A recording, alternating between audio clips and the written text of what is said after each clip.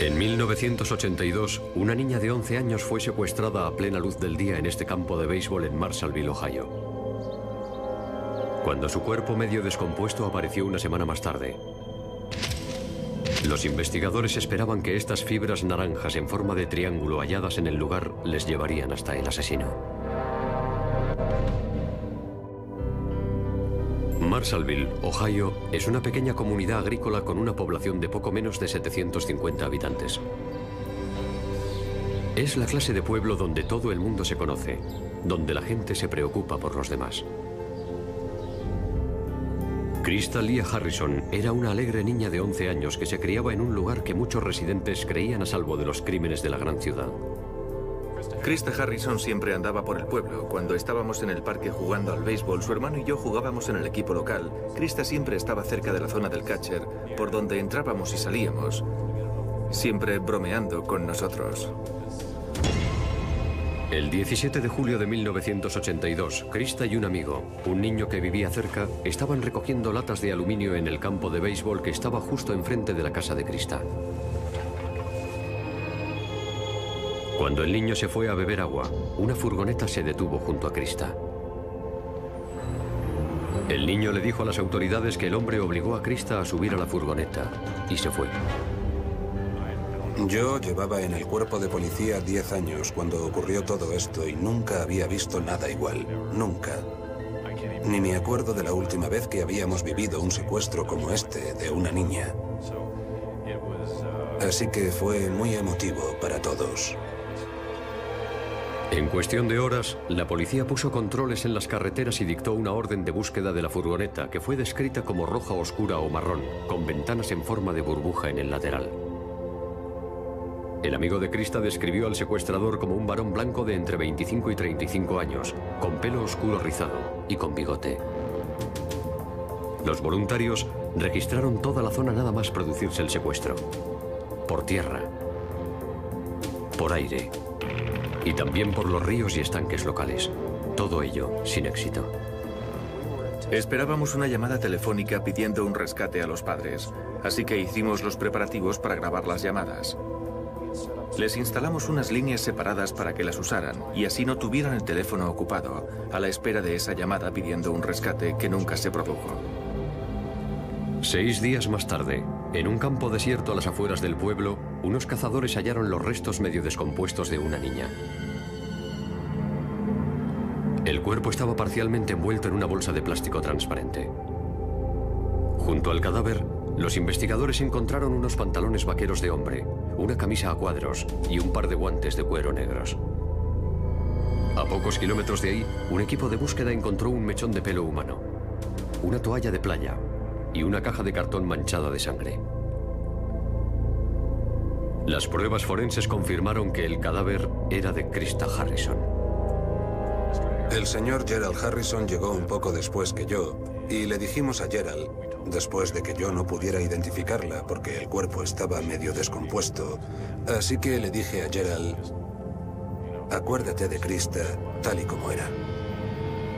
La autopsia reveló que Krista había muerto estrangulada y también había sufrido agresión sexual. En el pelo de Krista, en su ropa y en la toalla de playa que había cerca del cadáver, los científicos forenses advirtieron unas extrañas fibras naranjas. Vi fibras, varias fibras que resaltaban mucho. Eran unas fibras de un naranja chillón. El científico forense Jeffrey Lynn ya había visto estas fibras con anterioridad.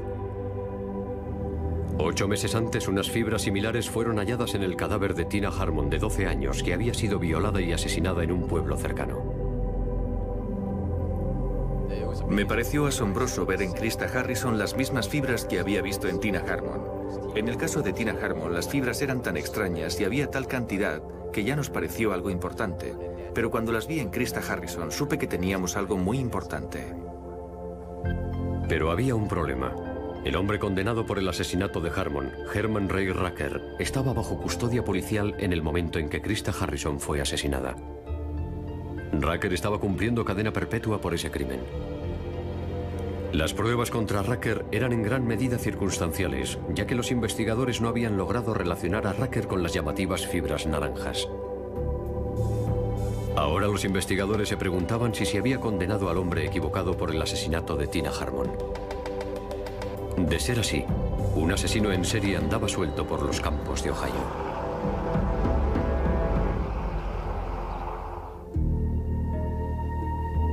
Cuando el cadáver de Krista Harrison fue descubierto en un campo a 50 kilómetros de Marshallville, Ohio, los investigadores tenían solo dos pistas sobre la identidad del asesino. Primero, un testigo dijo que el secuestrador conducía una furgoneta marrón con ventanas en forma de burbuja en el lateral. Segundo, había una cantidad inusual de fibras naranja en el pelo de Krista Harrison y en la toalla de playa hallada cerca de su cadáver.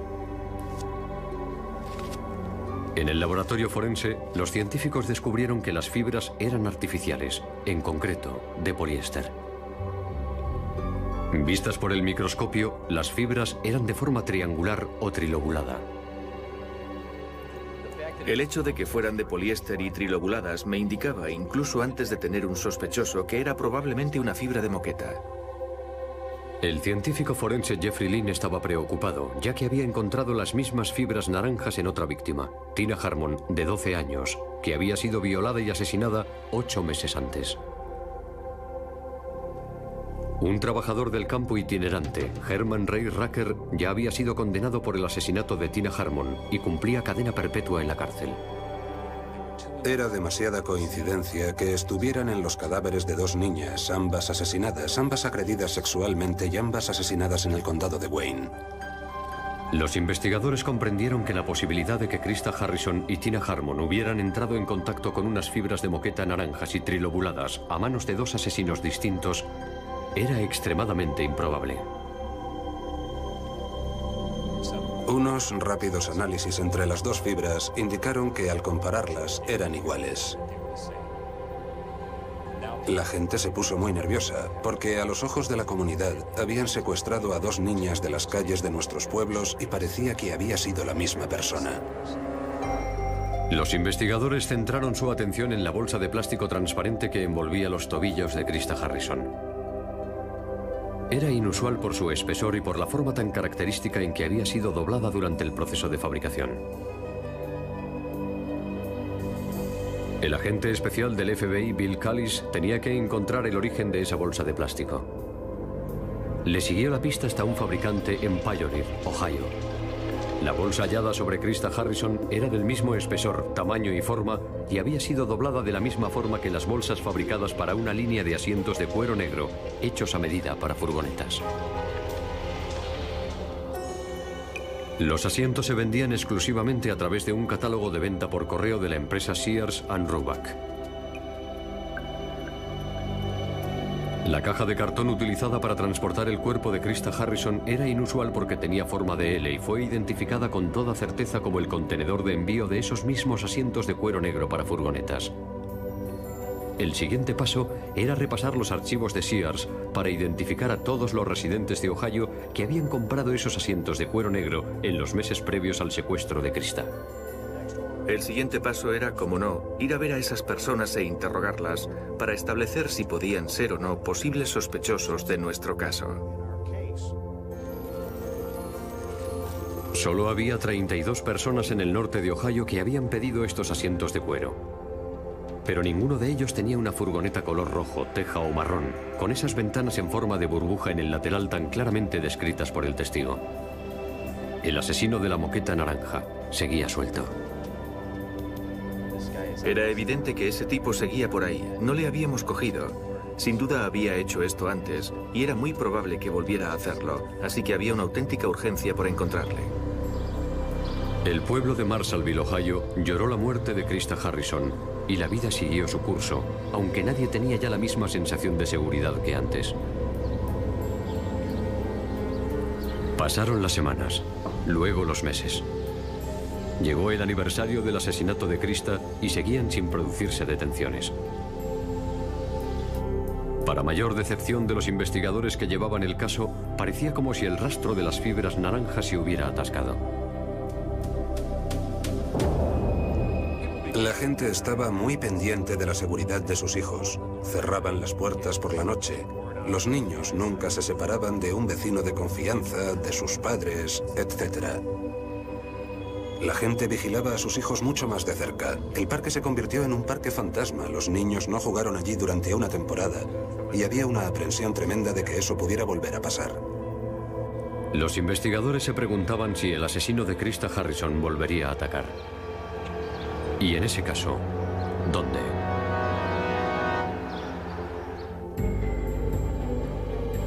El asesino de Krista Harrison había dejado tras de sí un rastro de pruebas físicas. Los investigadores sabían que había pedido unos asientos de cuero negro de un catálogo de Sears porque la bolsa que los cubría y la caja de cartón de ese envío fueron halladas junto al cuerpo de Krista. También sabían que el asesino tenía una moqueta con fibras naranjas trilobuladas en su furgoneta o en su casa. Ahora solo les faltaba un sospechoso.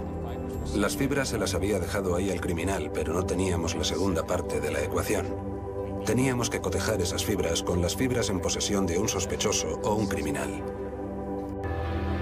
La policía tardó un año entero antes de que surgiera la oportunidad que necesitaban y surgió de la fuente más inesperada. A 80 kilómetros de donde fue secuestrada Krista Harrison, la encargada de una gasolinera, una mujer llamada Debbie, estaba pintando una pared exterior cuando fue secuestrada a punta de pistola. No te muevas, ven conmigo. La llevaron a un paradero desconocido y durante las siguientes horas le afeitaron la cabeza.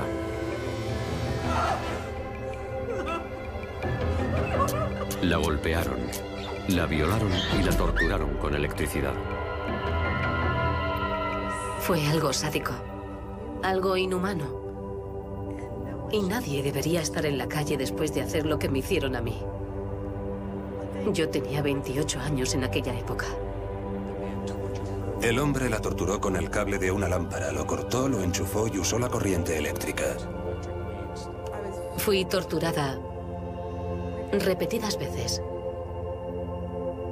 Había sangre por todas partes, en el techo. Y fue en un pasillo, sobre un banco, donde me torturaron. Con los cuatro miembros atados. A la mañana siguiente, el agresor de Debbie la dejó esposada y encadenada a la cama. Como intentes escapar, te mato. Voy a salir. Enseguida vuelvo. Tras 12 horas en cautividad, sangrando aún de sus heridas, el tremendo instinto de supervivencia de Debbie entró en acción. Incluso pensé en comerme mis pulgares si hacía falta. Es decir, estaba desesperada por escapar, porque sabía que me iba a matar. Al final, Debbie se soltó una de sus manos y luego pudo liberarse los tobillos.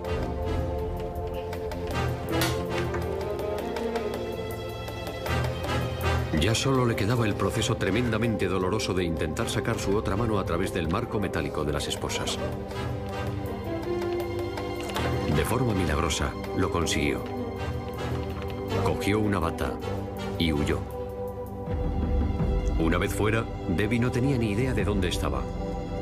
Así que acudió al único sitio que se le ocurrió en busca de ayuda. Miré al cielo y dije, Dios, necesito una señal, necesito ayuda, no sé dónde estoy. Y un caniche ladró, así que fui a esa casa y había una mujer maravillosa, la señora Smith. La señora Smith llamó de inmediato a la policía. Había recibido tal paliza que parecía que llevaba ropa interior morada. Fue de lo peor que he oído o visto. Estaba llena de moretones. Le habían dado una paliza y le habían hecho cosas que no nos podemos ni imaginar.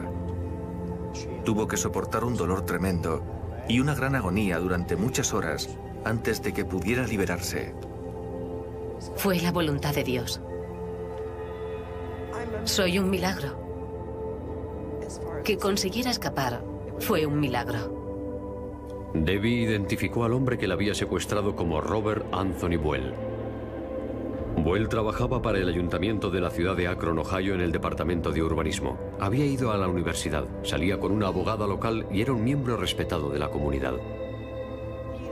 Era más o menos atractivo. Iba extremadamente arreglado. Salía con una abogada.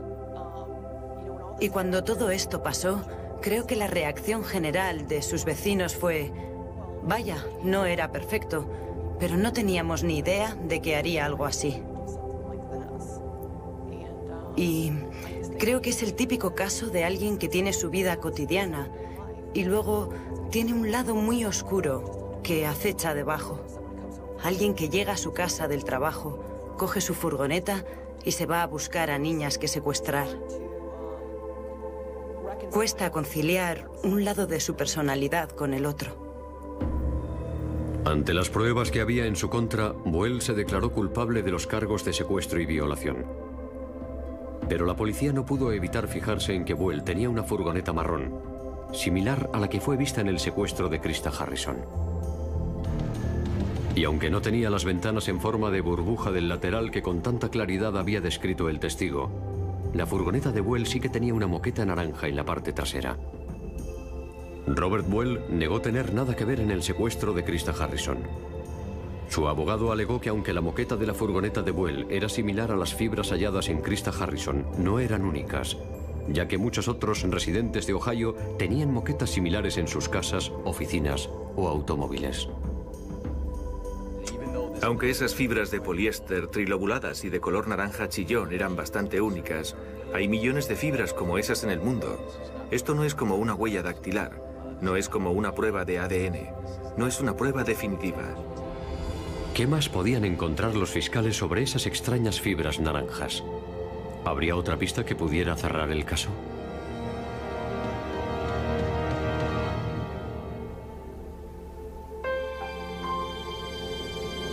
Un año después del asesinato de Krista Harrison de 11 años, la policía por fin tenía un sospechoso, Robert Buell, de 43 años, empleado del ayuntamiento de Akron, Ohio.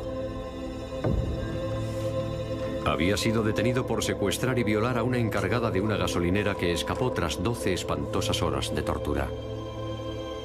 Y en un sorprendente descubrimiento, en la parte trasera de la furgoneta de Buell, los investigadores encontraron una moqueta naranja de poliéster trilobulado similar a las fibras halladas en el cadáver de Krista Harrison.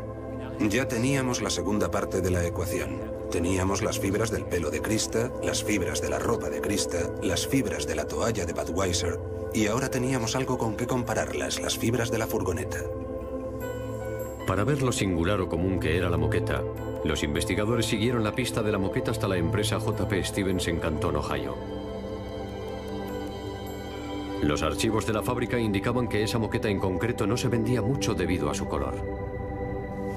Solo habían fabricado 10.000 metros cuadrados de esa moqueta y sus archivos también indicaban que de esos 10.000 metros cuadrados, solo 62 metros cuadrados se enviaron al norte de Ohio.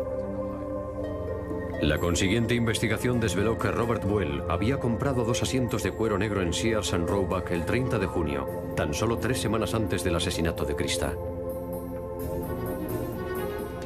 La bolsa de plástico que cubría esos asientos junto con la caja de cartón del envío fueron halladas junto al cuerpo de Krista Harrison. Robert Buell también tenía una furgoneta similar a la del secuestro de Krista Harrison. Era similar, pero no idéntica, ya que la furgoneta de Buell no tenía las ventanas redondas con forma de burbuja que había descrito el testigo.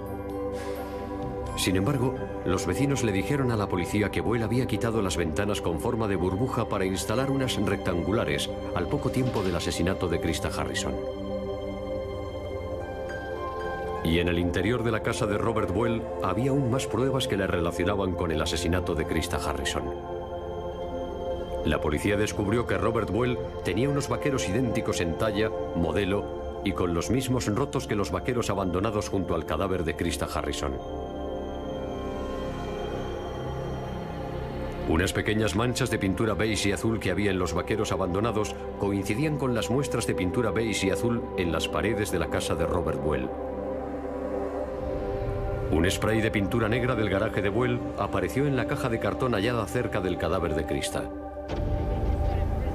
Los fiscales creían que Buell se llevó a Krista Harrison a su casa nada más producirse el secuestro. Las fibras de la moqueta naranja de la furgoneta aparecerían más tarde en el pelo de Krista Harrison. Después de asesinarla, Buell metió el cuerpo de Krista en la bolsa de plástico de uno de sus asientos nuevos. Y luego metió el cuerpo en la caja de cartón en la que habían llegado esos asientos. Buell tiró el cadáver a 50 kilómetros del pueblo, en un campo. Un poco más allá, Buell abandonó los vaqueros y la camisa que había llevado puestos. El análisis de los huesos indicó que el cuerpo había estado sometido a temperaturas extremadamente altas durante bastante tiempo. Un indicio de que el cadáver pasó varios días en el vehículo antes de ser abandonado en el campo. Robert Buell no se imaginaba que las inusuales fibras de la moqueta naranja de su furgoneta, unidas a la capacidad policial para seguir la pista de la bolsa de plástico y la caja de cartón, supondrían su fin. El 4 de abril de 1984, un jurado declaró a Robert Anthony Buell culpable de secuestrar, violar y asesinar a Crystalia Harrison de 11 años y fue sentenciado a morir en la silla eléctrica. Herman Ray Rucker, el hombre condenado por el asesinato de Tina Harmon, recibió un nuevo juicio ya que las mismas fibras naranjas y trilobuladas fueron descubiertas en ese escenario del crimen. Rucker acabaría siendo absuelto. Los fiscales creen que Robert Buell pudo haber participado en el asesinato de Tina Harmon. Pero Robert Buell lo niega y no se han presentado cargos. Los investigadores coinciden en que de no haber sido por el valor, la perseverancia y el instinto de supervivencia de Debbie, Robert Buell jamás habría sido apresado.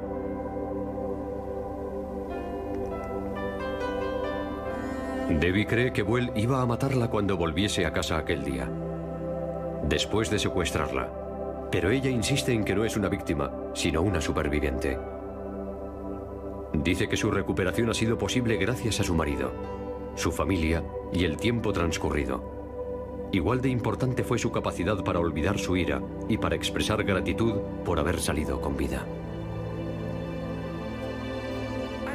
Tengo que creer que Krista está mirando que nos ve a todos nosotros. Y tal vez fue el ángel que me ayudó. Dios le dio alas.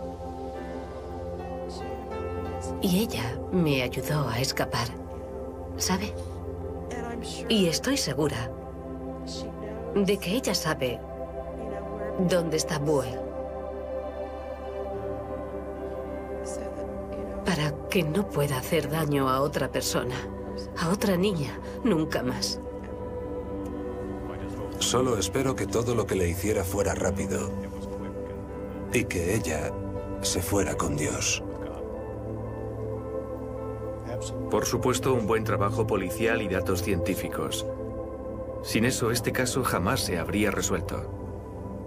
Fue gratificante saber que la ciencia forense tuvo un papel importante y que esas fibras fueron muy importantes.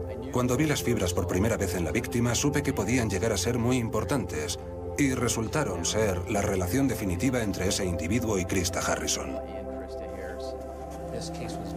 Este caso se basó en pruebas científicas y las fibras fueron la prueba científica que permitió que el jurado declarase a Well culpable de matar a Krista Harrison y le impusiera la pena de muerte, por ese crimen.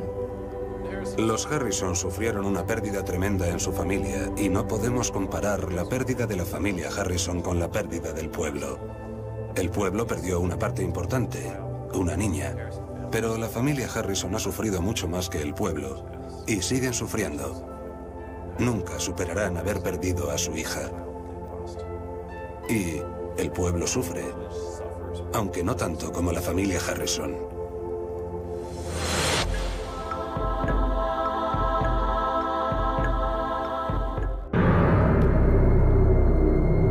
Diana Green solo tenía 20 años y estaba embarazada cuando fue brutalmente agredida y violada en su apartamento. La agresión provocó la muerte a su bebé.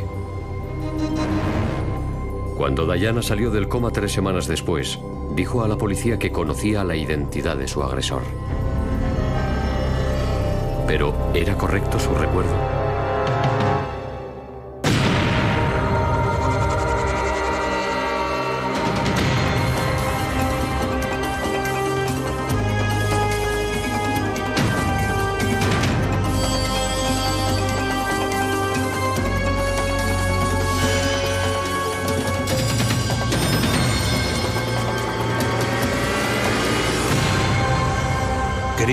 imperfectos.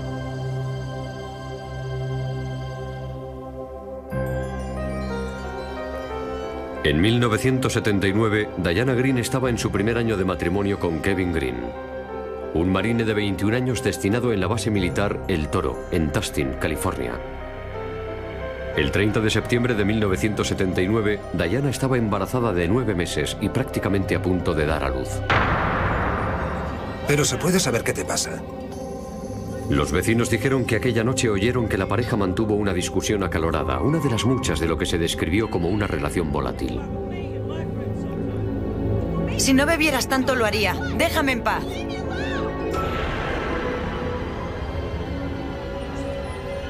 A la una y media de la madrugada, Kevin Green salió de casa a tomarse una hamburguesa en un restaurante de comida rápida. Cuando regresó media hora más tarde, Kevin dijo que se encontró a su mujer sangrando por una herida en la cabeza y llamó a la policía. El agente Paul Wright fue el primero en llegar al lugar de los hechos. No me parecía nada claro que se hubiera hecho una herida así. En aquel momento pensé que le habían disparado.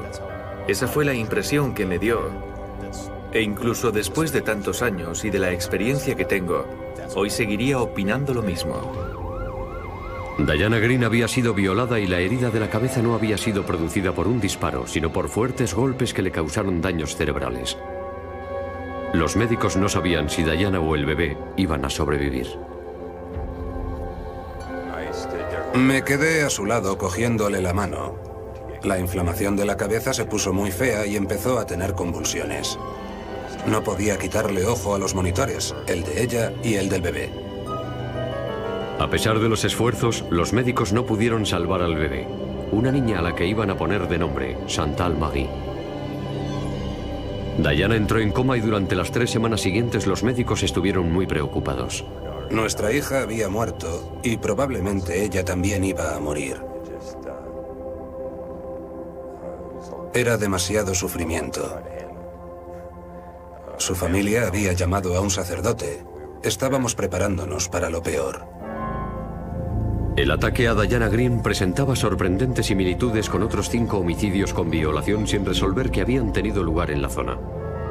Las cinco mujeres habían sido golpeadas y asesinadas del mismo modo. La prensa local denominó al asesino el azote de los dormitorios. El hombre que estaba cometiendo esos crímenes forzaba la entrada a la vivienda, violaba a la mujer y la golpeaba violentamente. De ahí el nombre de el azote de los dormitorios. Sorprendía así a muchas mujeres en sus dormitorios en la época en la que perpetró todos estos crímenes. Y entonces hubo muchos crímenes similares en este condado. Cuando la policía investigó el pasado de Kevin Green, descubrió que tenía antecedentes penales y un largo historial por consumo de alcohol y drogas. Y los testigos dijeron que se había comportado de una forma extraña después de la agresión a Diana. Hizo algunos comentarios que me parecieron inapropiados. Incluso le preocupaba que su mujer fuera a decir que había sido él. Después de tres semanas en coma y de pasar por una operación cerebral, Diana Green recuperó la conciencia. ¿Cree usted que podría identificar a su agresor en una rueda de reconocimiento? No, no lo creo. Este es un vídeo en el que Diana habla de la agresión. Como la lesión cerebral le había afectado a la memoria y al habla, poco pudo contar a la policía sobre la agresión. La policía pensó que habían llegado a un punto muerto en su búsqueda de el azote de los dormitorios, hasta que ocurrió algo que le hizo recuperar la memoria a Diana.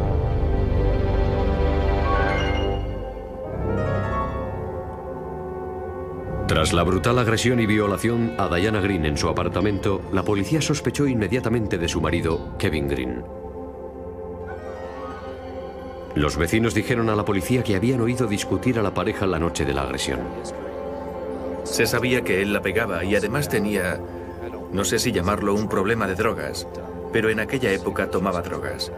Y por supuesto, si se añaden drogas al mal genio pueden surgir problemas y yo creo que eso era lo que pasaba. En otras ocasiones la había pegado y había discutido con ella así. No sabiendo cómo afrontar los portazos, el lanzarse objetos y las palabras que duelen, había perdido el control. La había pegado y le había hecho moretones. Kevin Green negó haber golpeado a su mujer esa noche y dijo que tenía una coartada para la hora en la que se produjo la agresión. Green dijo que se fue a tomar una hamburguesa hacia la una y media de la madrugada, pero que no entró en la hamburguesería que había cerca de su casa porque estaba abarrotada y se fue a otra que estaba a 15 minutos de allí. Había otros restaurantes de comida rápida en los que pudo haber parado, así que según su coartada, tuvo bastante tiempo. Tiempo más que suficiente para ir a la otra hamburguesería. La policía también tenía sospechas porque no había señales de haber sido forzada la puerta de la casa ni tampoco de que hubiesen robado. La recuperación de Diana fue lenta. Había sufrido una grave lesión cerebral. Había desarrollado lo que se llama afasia, la dificultad para formar palabras, y también amnesia retrógrada. Cuando una persona recibe un fuerte golpe en la cabeza, pueden alterarse las secuencias químicas que forman la memoria. Puede ser un estado pasajero o permanente. Diana no podía recordar la agresión ni nada de lo ocurrido inmediatamente antes de la agresión. Los médicos nos habían advertido. No se lo digan. No intenten llenar su vacío. Tiene que ir recuperando la memoria ella sola. Si le dan datos, eso será lo que recuerde. Tras varias semanas en el hospital y aún con grandes dificultades en el habla, se le permitió a Diana Green regresar a casa con su marido Kevin. Pero tres meses después de la agresión, sucedió algo. Diana y su madre se encontraban en la sala de espera de una consulta médica y una serie de fotos en una revista infantil despertó algo en su memoria.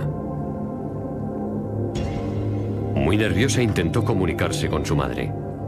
Señaló su vientre como haciendo referencia a su embarazo y después señaló su alianza.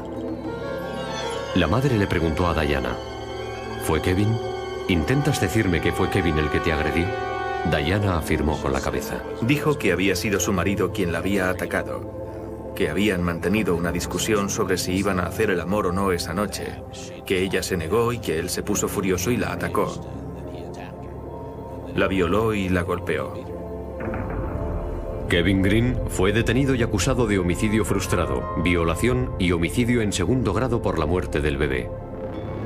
No se pudo realizar el análisis de ADN en la muestra de semen recogida después del ataque a Diana, porque en 1979 no existía la prueba de ADN.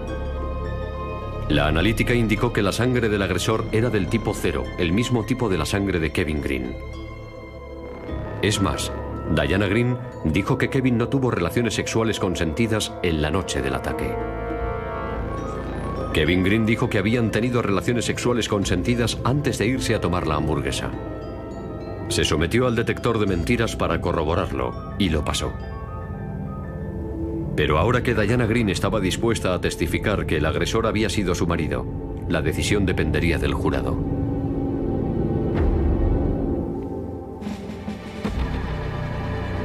En 1980, Kevin Green fue juzgado por violación, homicidio frustrado y homicidio en segundo grado por la muerte del bebé.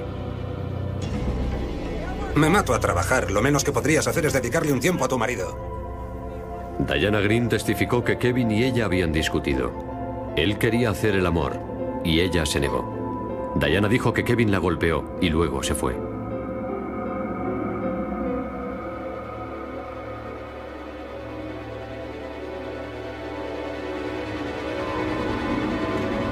Unos minutos más tarde, Kevin entró de nuevo en el dormitorio.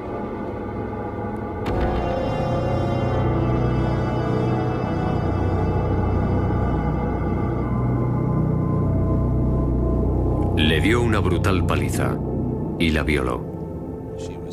Ella era la testigo principal contra él. Y no es inusual en casos de este tipo que la acusación tenga un único testigo, debido a la forma en la que se producen ciertos crímenes. Kevin Green contó una historia muy distinta al jurado. Dijo que había sido una relación consentida. Y que luego, cuando salió a tomar una hamburguesa, vio a un hombre de tez oscura merodeando cerca de la casa, y que el hombre se subió a una camioneta negra y se marchó. Cuando llegué al aparcamiento, vi a aquel hombre abriendo la puerta de su camioneta. Se estaba tapando la cabeza con el brazo y eso me pareció bastante raro y no entendí por qué quería ocultarse. Pero fue el sólido testimonio de Diana Green lo que convenció al jurado.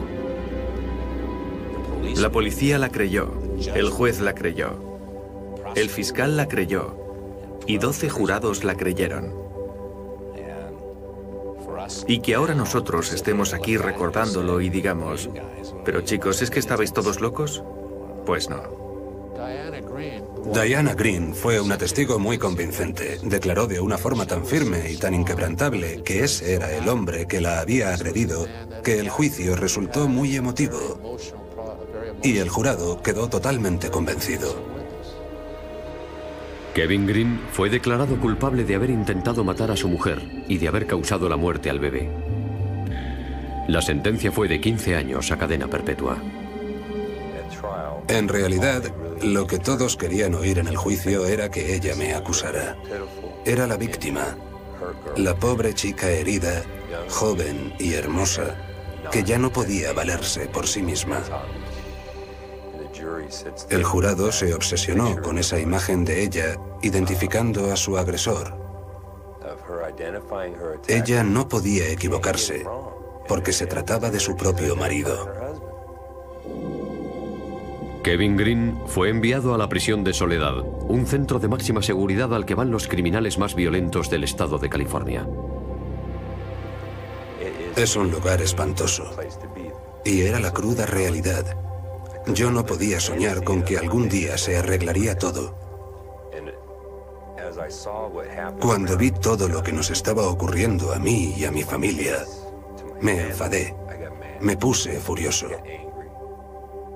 Un día me metieron en el agujero porque cinco tipos querían matarme porque decían que yo me había cargado a un bebé.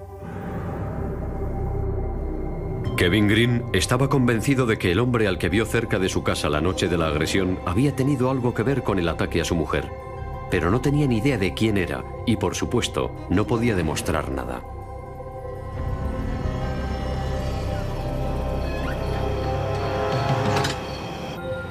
Pasó el tiempo. Kevin Green estuvo ocho largos años en prisión. Ya se habían agotado todos los recursos pronto podría optar a la condicional. Pero había un problema. Kevin Green tendría que confesarse culpable de haber atacado a su mujer.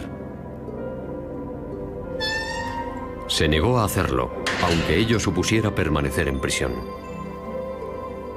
El problema era que yo no estaba dispuesto a decir que lo hice porque no era verdad. Dos años más tarde volví a solicitar la condicional. Y nuevamente le fue denegada. La única cosa que pensé que podía hacer para sentirme mejor era suicidarme. En la prisión de Soledad, Kevin Green tomó una importante decisión. En lugar de confesar que había cometido el crimen, se suicidaría. Pero de repente me detuve y me dije a mí mismo, Dios mío, no puedo hacerlo, necesito ayuda. Para mí, fue una forma de pedirle auxilio a Dios. Y me calmé. Me calmé de la cabeza a los pies. Y empecé a ver unas lucecitas. Empecé a comprender lo que mi vida, lo que estaba ocurriendo en mi vida. Dios me había puesto esta prueba porque podía superarla. Todos los que estaban a mi alrededor lo estaban afrontando porque podían y necesitaban superarlo. No sé por qué los planes de Dios para mí han incluido esto. Kevin Green pasó 16 años en prisión por un crimen que él decía que no había cometido, hasta que finalmente sus oraciones fueron escuchadas.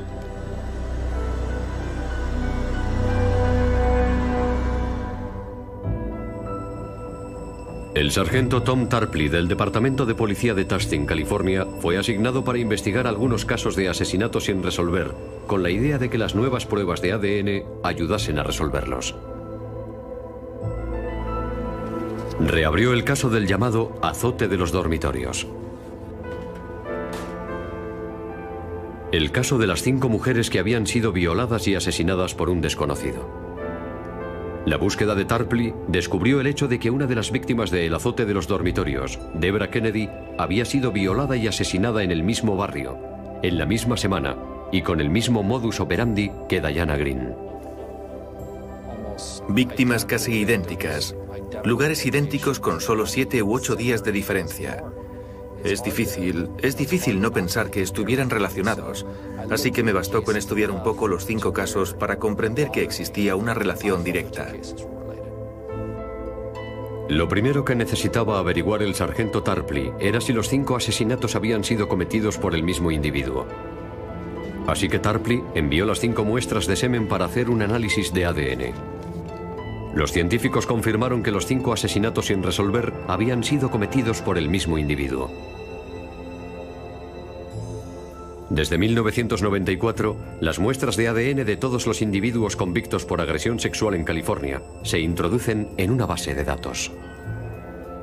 En realidad, el propósito de la base de datos es resolver delitos pendientes. Por consiguiente, queremos introducir en la base de datos los nombres de las personas que han cometido algún delito grave, sabiendo que es probable que anteriormente hayan cometido algún otro delito. En un increíble golpe de suerte, el ADN del llamado azote de los dormitorios coincidió con el de un preso que estaba cumpliendo condena en una cárcel de California. Se llamaba Gerald Parker, condenado por violar a una chica de 14 años. Al presentarle la prueba de ADN, Gerald Parker confesó ser el famoso azote de los dormitorios. Pero el sargento Tarpley no se detuvo ahí. Durante el interrogatorio, Tarpley le preguntó a Parker si le sonaba de algo el nombre de Diana Green. Entonces fue cuando noté un cambio en su actitud. Pareció interesarle el tema. Sabía mucho sobre el caso Green, lo cual me pareció raro. No me habló de los otros casos, pero me dijo que había leído lo del caso Green en los periódicos. Lo había seguido por la radio. Y sabía que habían condenado a un marine. Eso también me sorprendió mucho. Me di cuenta de que le había hecho reaccionar y decidí investigarle más a fondo. Gerald Parker también había sido marine. Tras quedarse pensando unos minutos, Parker le dijo al sargento Tarpley que necesitaba contarle algo. Algo que le había tenido angustiado durante 16 años. Parker dijo que estuvo junto a una ventana de la casa de los Green el 30 de septiembre de 1979 y que oyó discutir a la pareja.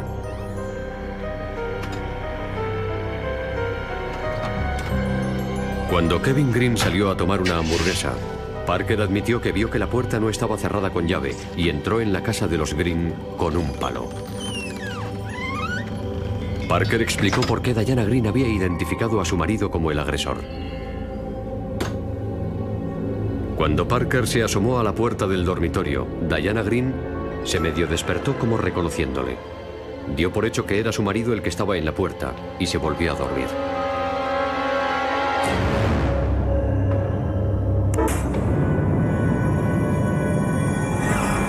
Parker describió cómo había atacado a Diana Green. Gerald Parker era el hombre que Kevin Green había visto a la entrada de su casa la noche de la agresión.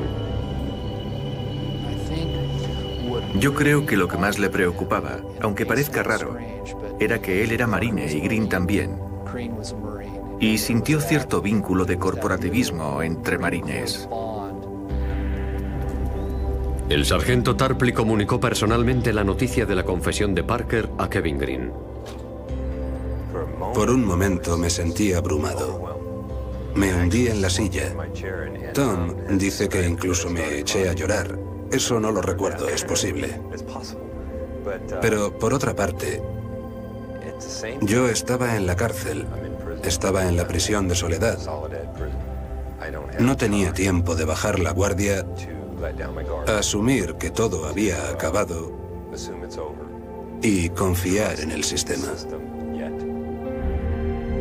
La muestra de semen del agresor de Diana Green no se había conservado refrigerada en los 16 años que habían pasado desde el juicio, pero de todos modos se envió para un análisis de ADN. Los científicos utilizaron el proceso llamado PCR, que analiza pequeñas cantidades de ADN, incluso muestras que están deterioradas. El semen encontrado en Diana Green coincidió con el de Gerald Parker. Irónicamente, la tecnología que exoneró a Kevin Green ya llevaba existiendo 12 años de los 16 que él había estado encerrado.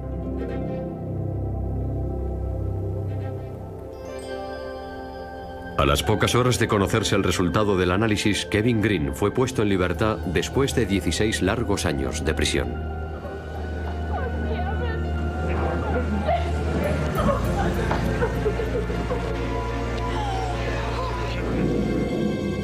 Actualmente, Gerald Parker se encuentra en el corredor de la muerte. Diana Green vive en California. Se ha vuelto a casar, pero aún tiene problemas neurológicos como consecuencia de la agresión. Kevin Green también ha vuelto a casarse y vive en Missouri. Ha dedicado su vida a asegurarse de que los presos que defiendan su inocencia tengan acceso a un análisis de ADN después de haber sido condenados. Fue una larga serie de acontecimientos lo que llevó a descubrir que Gerald Parker había sido el autor del delito. Es increíble, realmente sorprendente. Piensas en este caso y dices, ¿qué podemos hacer para evitarlo? No creo que se pueda. El sistema comete errores, es inevitable. Hay personas inocentes que son condenadas. Aquí, en el estado de California, tenemos un caso. Es un caso del Tribunal Supremo de California. Se llama el Estado contra West. En este caso, el Tribunal Supremo de California reconoce, permite y acepta que un hombre inocente se declare culpable. Porque el Tribunal Supremo dijo que comprendían que un hombre o una mujer, al verse enfrentados a un cargo grave, no quieran correr el riesgo de ser condenados por un delito mayor si se les ofrece un trato o la posibilidad de declararse culpables de un delito menor, aunque sean inocentes. Se comprende que un acusado haga eso y lo aprobamos. De modo que el Tribunal Supremo de California hace tiempo que reconoció específicamente que el sistema no es perfecto. Por supuesto, Kevin Green es un ejemplo trágico de ello. Yo creo que es un fallo terrible de la justicia, pero comprendo por qué ocurrió. Comprendo por qué ocurrió. Nadie hizo nada malo. Yo no creo que Diana Green hiciera nada malo. Yo creo que testificó según lo que para ella era la verdad. Sigo estando convencido de que ella creyó realmente que el hombre que entró en el dormitorio, la silueta que vio, era su marido y se volvió a dormir. Eso fue exactamente lo que dijo Parker. Se volvió a dormir creyendo que yo era su marido. Pero no era él, era yo. Fue una situación extraña que ha conducido a esta tragedia. Todo se basó en el testimonio de un testigo ocular, la víctima. Los testimonios de testigos no siempre son correctos. Y si encima hay lesiones cerebrales, cosa que nadie quiso admitir, el resultado fue que me condenaron. Estuve en la cárcel 16 años y 3 meses y aún seguiría allí. Un hombre inocente en prisión si el hombre que cometió el crimen no hubiera confesado y no hubiera existido el análisis de ADN para corroborar su confesión, todavía seguiría allí. Era una novia de encargo, atraída a los Estados Unidos con la promesa de una vida mejor. A los pocos días de casarse, desapareció. La clave del misterio procedía de una fuente inverosímil. Una revisión forense de la muerte sospechosa de otra mujer ocurrida 16 años antes.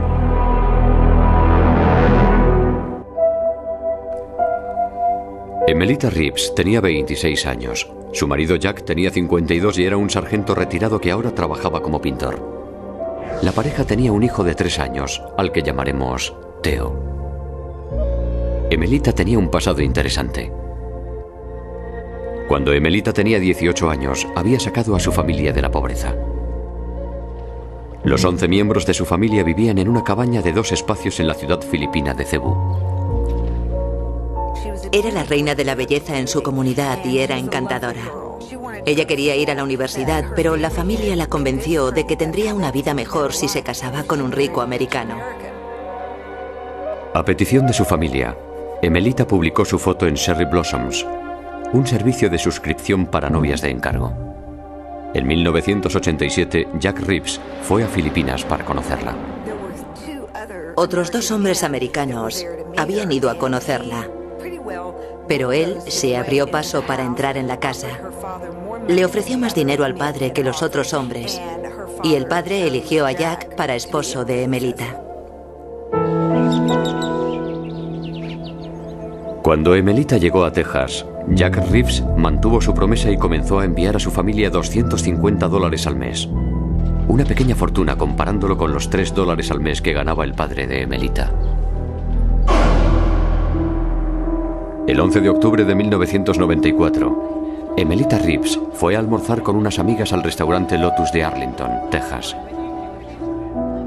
Durante el almuerzo, Emelita confió a sus amigas que ya no estaba enamorada de su marido, que se había enamorado de otra persona. Una mujer y que estaba deseando comenzar una nueva vida. Después del almuerzo, Emelita se fue de compras pero nunca regresó a su casa. Más tarde, sus amigas, al ver que no podían localizarla ni en el móvil ni en el busca, llamaron a la policía. Cuando la policía interrogó a Jack Reeves, este dijo que no le preocupaba demasiado la desaparición de su mujer dijo que probablemente se habría fugado con su nueva amante. Jack era aficionado a la pornografía y le gustaba ver vídeos de mujeres juntas y de hombres y mujeres entregados a orgías sexuales.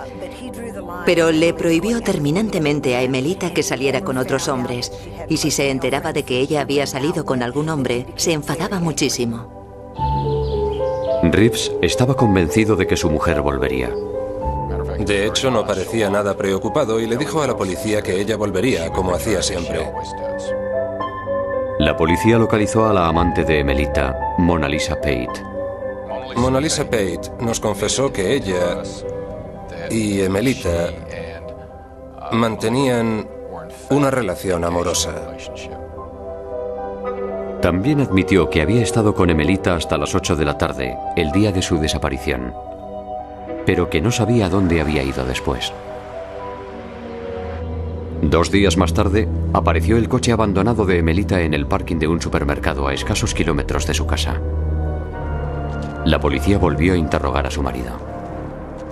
Al principio dijo que su mujer se había escapado, pero después decidió empezar a colaborar, así que llevó a la oficina de Tom Lenoir algo que creía podía servir para encontrar a Emelita.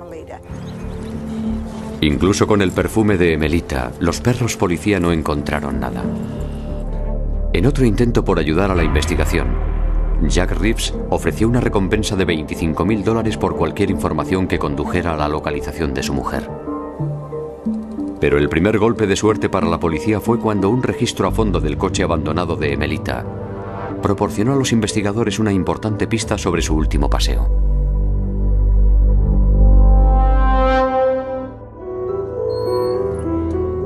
La policía de Texas empezaba a creer que había habido engaño en la desaparición de Emelita Reeves. Cuando la policía inspeccionó el coche abandonado de Emelita, observaron algo sospechoso. Cuando apareció el vehículo, el asiento del conductor parecía corresponder a alguien más alto que Emelita, que era muy baja. El volante no estaba bloqueado como lo dejaba siempre Emelita, y la alarma tampoco estaba puesta, cosa que siempre hacía Emelita. Y las sospechas aumentaron cuando la policía descubrió que en la casa de Emelita no faltaba ninguna prenda de ropa. También se descubrió que Emelita no estaba enamorada de su marido. Emelita había contado a sus amigas que Jack le había pedido que se acostara con uno de sus hijos de un anterior matrimonio. Y Emelita se había negado. La policía pidió a Jack Reeves que se presentara en la central para retirar el coche de Emelita. Al parecer, Jack se había ido de la ciudad. Había llevado a su hijo pequeño al cercano lago Whitney donde solían acampar. Y la policía también descubrió que Jack Reeves le había ofrecido recientemente a Emelita una importante suma de dinero, 30 mil dólares, a cambio de que siguiera con él.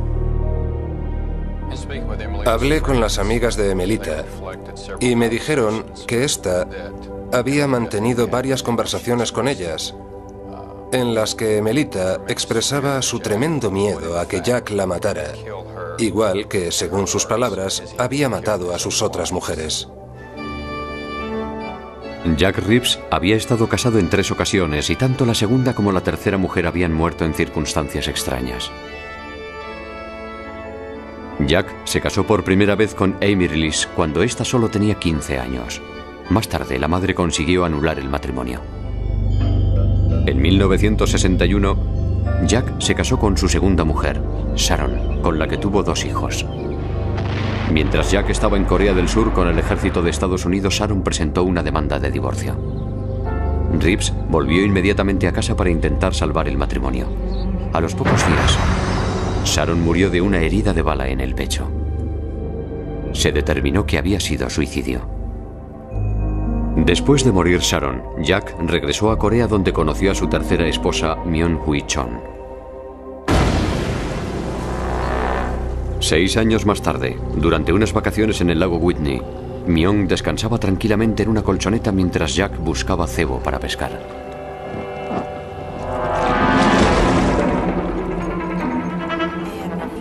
Él dijo que cuando volvió, se encontró con que Mion se había caído y se había ahogado. Su hermana asistió al entierro y vio que Mion tenía hematomas y arañazos en los brazos. Cuando se enteró de la muerte de Mion, desde el principio sostuvo que Jack la había asesinado. Hablé con la hermana y le dije, ¿qué es lo que ha ocurrido con Mion? Estamos todos muy extrañados. Y ella dijo, a mí no solo me preocupan las uñas, sino los arañazos en las manos de Jack. Yo pensaba que se había arañado al sacarla del agua, pero ella dijo, no, no, son unos arañazos paralelos. Y eso me hizo preguntarme si se los había hecho ella misma. Después del funeral, Jack insistió en que Mion fuera incinerada. A pesar de la preocupación de la familia, no hubo investigación alguna. Cuando investigó el pasado de Jack, el detective Lenoir se quedó convencido de que Melita Reeves había sido una víctima más de Reeves y decidió tenderle una trampa para demostrar su hipótesis. Habló una vez más con Jack Reeves y en esta ocasión hizo hincapié en los últimos avances de las pruebas de ADN.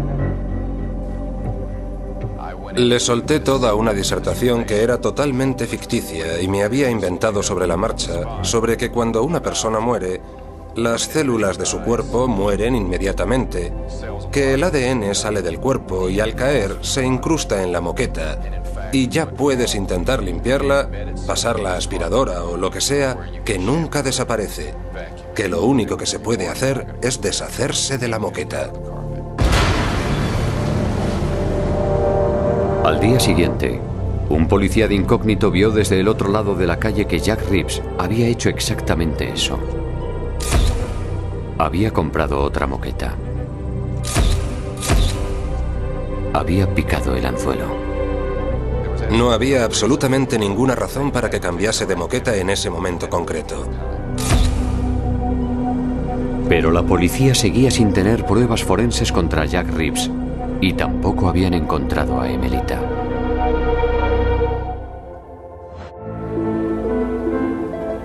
El detective de la policía de Arlington, Tom Lenoir, creía que la mejor forma de resolver la desaparición de Emelita Reeves era investigar las repentinas y extrañas circunstancias en las que murieron las dos anteriores mujeres de Jack. La tercera mujer de Jack, Mion Reeves, se había ahogado en el lago Whitney, de 30 metros de profundidad, al caerse de una balsa. En el momento del accidente, un guardabosques local informó que la colchoneta de Mion estaba en perfecto estado y tenía aire suficiente. Dijo que era muy poco probable que una persona adulta se hubiera caído sin poder volver a subirse a la colchoneta. Y el ahogamiento se había producido en aguas de profundidad no superior a 30 metros. Si realmente Mion se había resbalado de la colchoneta, los investigadores no entendían cómo no pudo nadar una distancia tan corta hasta la orilla del lago. Desgraciadamente, no había habido investigación criminal y no se realizó la autopsia. Mion Reeves había sido incinerada. La segunda mujer de Jack, Sharon Reeves, apareció muerta en su dormitorio por una herida de bala que supuestamente se produjo ella misma. Como se dio por hecho que había sido un suicidio, No se le hizo una autopsia y únicamente se conserva una fotografía del lugar de los hechos. La policía de Arlington envió la fotografía al experto en manchas de sangre, internacionalmente conocido, Tom Beeble. Jack dijo a la policía que en el momento del accidente él creía que Sharon estaba sentada en la cama y que apretó el gatillo con un dedo del pie.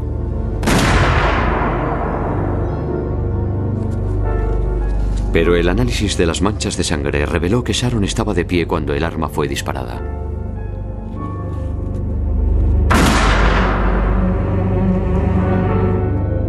La mancha de sangre en el muslo de Sharon tenía forma de L, lo cual indicaba que Sharon estaba de pie cuando empezó a extenderse por el muslo la sangre de la herida. Después, al caer hacia atrás, la hemorragia cambió de dirección. Si Sharon hubiera estado sentada, la mancha de sangre y la forma en la que se extendió habrían sido totalmente diferentes. De hecho, habría sido justo al contrario. Y si Sharon estaba de pie, habría sido físicamente imposible que ella hubiera disparado el arma. Yo diría que no es totalmente imposible, pero sin duda sería altamente improbable. Ahora el detective Lenoir tenía razones suficientes para exhumar el cadáver de Sharon Reeves, 16 años después de su muerte.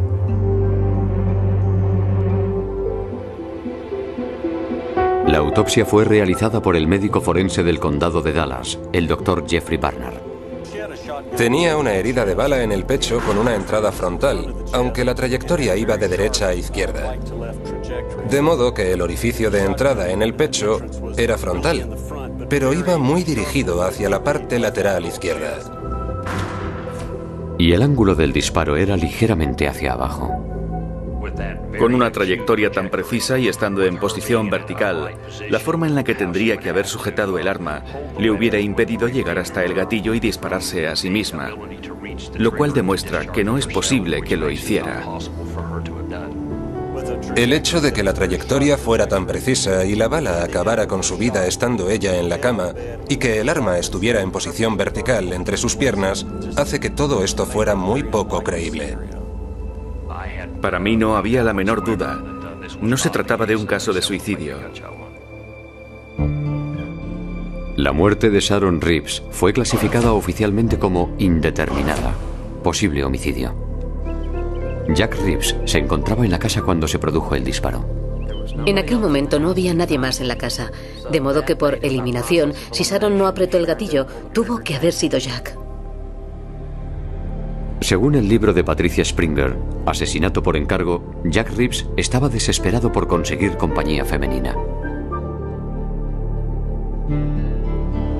Tan desesperado que llamó a la hermana de Emelita de 12 años, pidiéndole que se fuese a vivir con él. Cuando ese plan fracasó, Jack renovó su suscripción a la revista Sherry Blossoms y a través de los anuncios de contactos encontró una quinta esposa, Emilia, que también vivía en Filipinas. Pero antes de que se pudieran reunir, Jack Reeves fue detenido. Le cogimos, le metimos en el coche y le esposamos.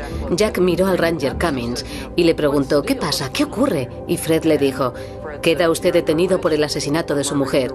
Y Jack preguntó, ¿de cuál de ellas? Nos miramos unos a otros y Fred dijo, pues es una buena pregunta.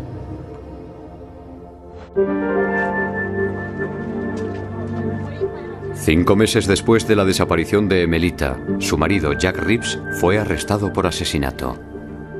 Cuando le arrestamos, me dijo repetidamente que él no había matado a Emelita y que no había razón para detenerle.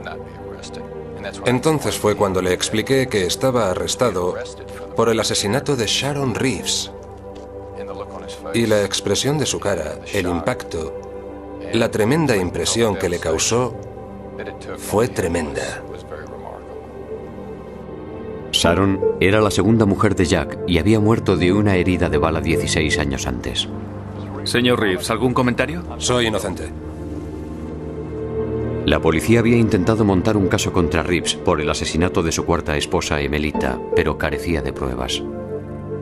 Durante el juicio por la muerte de Sharon Reeves, la acusación se basaba en las manchas de sangre y la reconstrucción del suceso.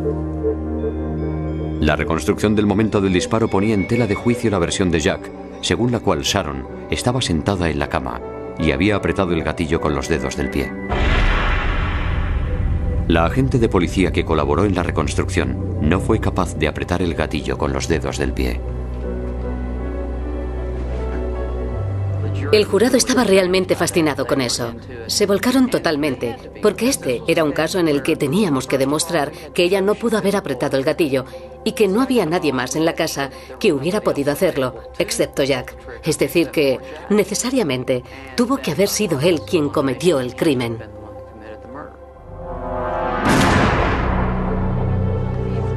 Jack Reeves fue declarado culpable del asesinato de Sharon Reeves y fue sentenciado a 35 años de prisión. El 1 de octubre de 1995, casi un año después de la fecha de la desaparición de Emelita, unos cazadores que estaban en el lago Whitney se encontraron con una tumba poco profunda. Los restos fueron enviados al Departamento Forense de Fort Worth, en Texas. El ayudante del jefe de los forenses, Mark Krause, identificó los restos comparando la mandíbula encontrada con la ficha dental de Emelita. Y coincidía. Emelita apareció desnuda y sin joyas ni artículos personales, cosa que no concordaba con alguien que se había fugado. El doctor Krause confiaba en que los huesos le indicarían cómo había muerto Emelita. Pero no había huesos rotos, ni orificios de bala, ni cuchilladas. Y por desgracia faltaba el hueso iodes. Si está fracturado de una forma determinada, podemos asumir que hubo estrangulamiento. Si la persona es estrangulada hasta el punto de dañar el hueso, lo más probable es que muera. Pero el doctor Kraus hizo un descubrimiento importante. Alrededor de los pulmones de Emelita había unos pequeños organismos unicelulares llamados diatomeas. Este fue un descubrimiento importante. ¿Por qué? Las diatomeas viven en el agua. Al encontrar una gran cantidad de esqueletos de esas criaturas microscópicas que se encontraban en una zona en la que estaban los pulmones cuando el cadáver fue enterrado, y al encontrar concentraciones muy bajas de diatomeas en otros lugares, se puede deducir que se ahogó, que había tragado agua que contenía diatomeas y que cuando se descompuso el cuerpo, este material quedó depositado en la tumba. Quedó establecido que se trataba de un homicidio. Fue asesinada y su cuerpo no estaba bien enterrado. Se había hecho de forma precipitada. Y yo estoy casi convencido de que el ahogamiento fue un homicidio. Fue un ahogamiento provocado. Más tarde, la policía fue al lago Whitney con el hijo pequeño de Reeves, quien dijo que tuviesen cuidado con aquel hoyo tan grande, mientras apuntaba en la dirección de la tumba de su madre. También dijo que su padre había pegado a su madre en la bañera. Era posible o más bien probable, que Jack hubiera estado con su hijo mientras enterraba a Emelita. El niño hizo un comentario que reflejaba que conocía bien aquella zona. Indicó perfectamente dónde estaba enterrada Emelita, lo cual apoyó nuestra sospecha de que realmente presenció cómo enterraban a su madre. Jack Reeves fue procesado de nuevo, esta vez por el asesinato de Emelita Reeves. ¿Mató usted a Emelita? No, no la maté. Fue condenado nuevamente. Cuando una de sus mujeres mencionaba la palabra divorcio, para él significaba muerte y las mataba. Jack Reeves fue sentenciado a 99 años de prisión. No tendrá la posibilidad de obtener la condicional hasta la edad de 106 años. Jack Reeves es probablemente uno de los hombres más manipuladores que he conocido jamás. Es un sociópata, no siente el menor remordimiento por lo que ha hecho. Intenta manipularte para que creas que es inocente y que le ayudes a demostrarlo. Yo creo que Jack Reeves no tiene la más mínima posibilidad de rehabilitarse. Yo he entrevistado a muchos asesinos en mi vida y Jack es probablemente el que más sangre fría tenía de todos. Decididamente, Jack Reeves está donde le corresponde estar, es decir, en prisión para el resto de su vida. Los forenses resolvieron el caso. Sin ellos, no se hubiera resuelto ninguno de los dos casos. No habría sido posible obtener una identificación, ni pruebas de cómo se habían producido las muertes, ni una condena.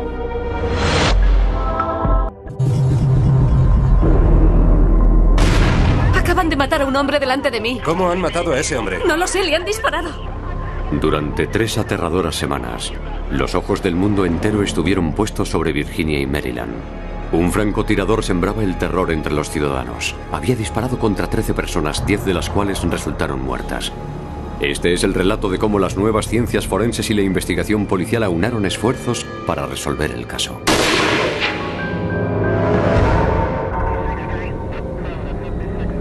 El 2 de octubre de 2002, la policía del condado de Montgomery, Maryland, investigaba una serie de muertes por herida de bala. James Martin, de 55 años, fue abatido de un solo disparo mientras metía las bolsas de la compra en su coche. Sonny Buchanan, de 39 años, muerto de un solo disparo mientras cortaba el césped de su jardín. Otro taxista de 54 años, asesinado a tiros mientras llenaba el depósito de gasolina. Nunca había ocurrido nada parecido en el condado de Montgomery. Vivimos en una comunidad muy segura, pero el índice de homicidios acaba de subir un 25% en un solo día. Todas las muertes parecían obra del mismo asesino. La policía sabía que habían disparado a las víctimas desde 100 o 200 metros de distancia, pero no sabían dónde se había apostado el francotirador. El FBI recurrió a las nuevas tecnologías de infografía para construir maquetas de las escenas del crimen y determinar cuál era el emplazamiento del francotirador. Y dado que el francotirador había conseguido escapar limpiamente, algunos pensaban que habría dos personas implicadas, un localizador y un tirador. Mi teoría era que había un conductor con él y así es como conseguía escapar.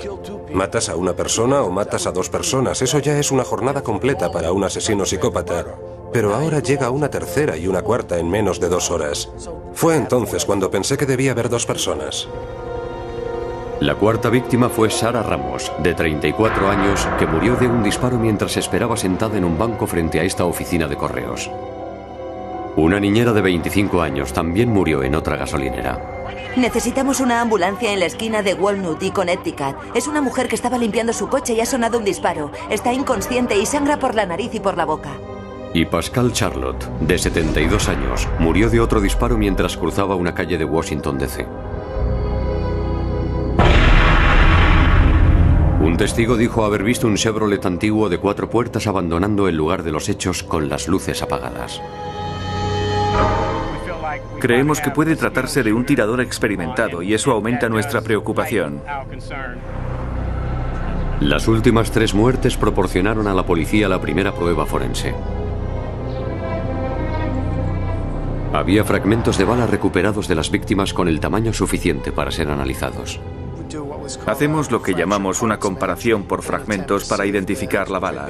Es casi como armar un rompecabezas. Cuando la bala sale por el cañón, las estrías del interior marcan la bala.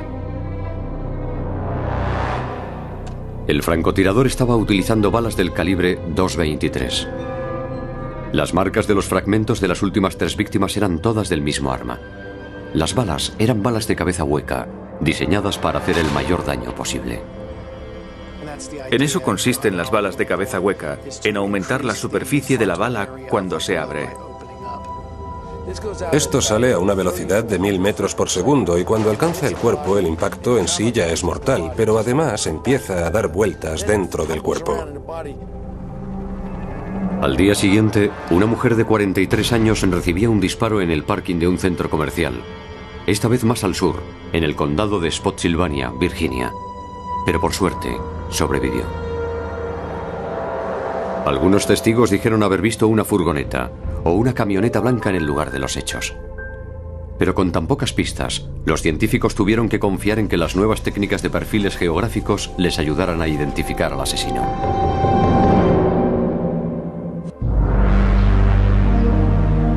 Un francotirador había disparado contra siete personas en Virginia y Maryland y empezaba a cundir el pánico entre la comunidad. Los investigadores tenían pocas pruebas físicas, así que optaron por las nuevas técnicas a su alcance para resolver crímenes. Durante años, la policía ha recurrido a las ciencias, a la física, la química, la biología, todas las ciencias puras. Pero ahora se están viendo nuevas técnicas policiales que aprovechan otro tipo de ciencias, como la psicología y la sociología. Los investigadores le pidieron a Kim Rosmo que hiciera un perfil geográfico del asesino. Rosmo era un ex detective de la policía canadiense que había inventado el programa informático que se utiliza. Con los asesinatos en serie y de desconocidos hay un problema de exceso de información. Demasiados sospechosos y demasiadas pistas. Son listas con cientos o miles de datos. Es como el clásico problema de la aguja en el pajar. Sabemos que está ahí, pero ¿por dónde empezamos? Rosmo cree que los criminales actúan a una distancia predecible de su lugar de residencia. Así que introdujo todos los lugares donde se habían producido los tiroteos en su programa de ordenador, que contiene información acumulada sobre miles de casos anteriores. Los criminales son perezosos, pero los criminales tampoco quieren cometer los crímenes demasiado cerca de sus casas, así que queda una zona vacía alrededor. Pero hay un punto en el que su deseo de actuar en una zona concreta se equilibra con su deseo de mantener el anonimato. El ordenador muestra dónde se produce ese equilibrio. El sistema informático efectúa todos los cálculos, hasta un millón de cálculos, y genera una zona de riesgo. Un mapa en tres dimensiones que muestra los lugares más probables donde pueda estar el domicilio. Las escenas del crimen se muestran en amarillo o en verde. El lugar de residencia más probable del sujeto se muestra en rojo o en naranja. La policía también pidió al FBI un perfil de comportamiento del francotirador. El punto fuerte y el punto débil de los perfiles de comportamiento es que se basan fundamentalmente en el estudio de individuos que han cometido crímenes con anterioridad, y lo que se hace es identificar los puntos en común. Basándose en hechos criminales anteriores, los expertos en perfiles de comportamiento dicen que el asesino en serie suele ser un varón de raza blanca, de 20 o 30 y tantos años, con estudios de secundaria y que suele estar divorciado. Un perfil de comportamiento no resuelve un crimen. Hacen falta pruebas físicas o testigos o una confesión para hacer eso. La ciencia es importante. La ciencia nos ayuda. Pero que la gente hable con la gente y consiga información es nuestra mejor baza. Pero la policía estaba segura de una cosa. El asesino o asesinos estaban viendo las noticias. Es habitual que sigan las noticias y hasta suelen participar en la investigación de alguna forma. Es algo que alimenta su ego. Así que pudo haber estado atento cuando el jefe Moose aseguraba al público que los niños de la comunidad estaban a salvo. Las autoridades del condado de Montgomery dicen que mañana será una jornada normal de clases. El 7 de octubre, el francotirador disparaba hiriendo a un joven de octavo curso cuando iba al instituto. Los padres angustiados se preguntaban si de verdad estaban sus hijos a salvo. Estoy contento porque papá ha venido a buscarme. Él quería que viniera a recogerle y que le llevara a casa. Todas las víctimas eran inocentes y estaban indefensas. Pero ahora se ha rebasado la raya, porque nuestros hijos no se merecen esto. La idea de ver a madres acompañando a sus hijos a la escuela para protegerles del ataque de un francotirador no es la América que yo conozco.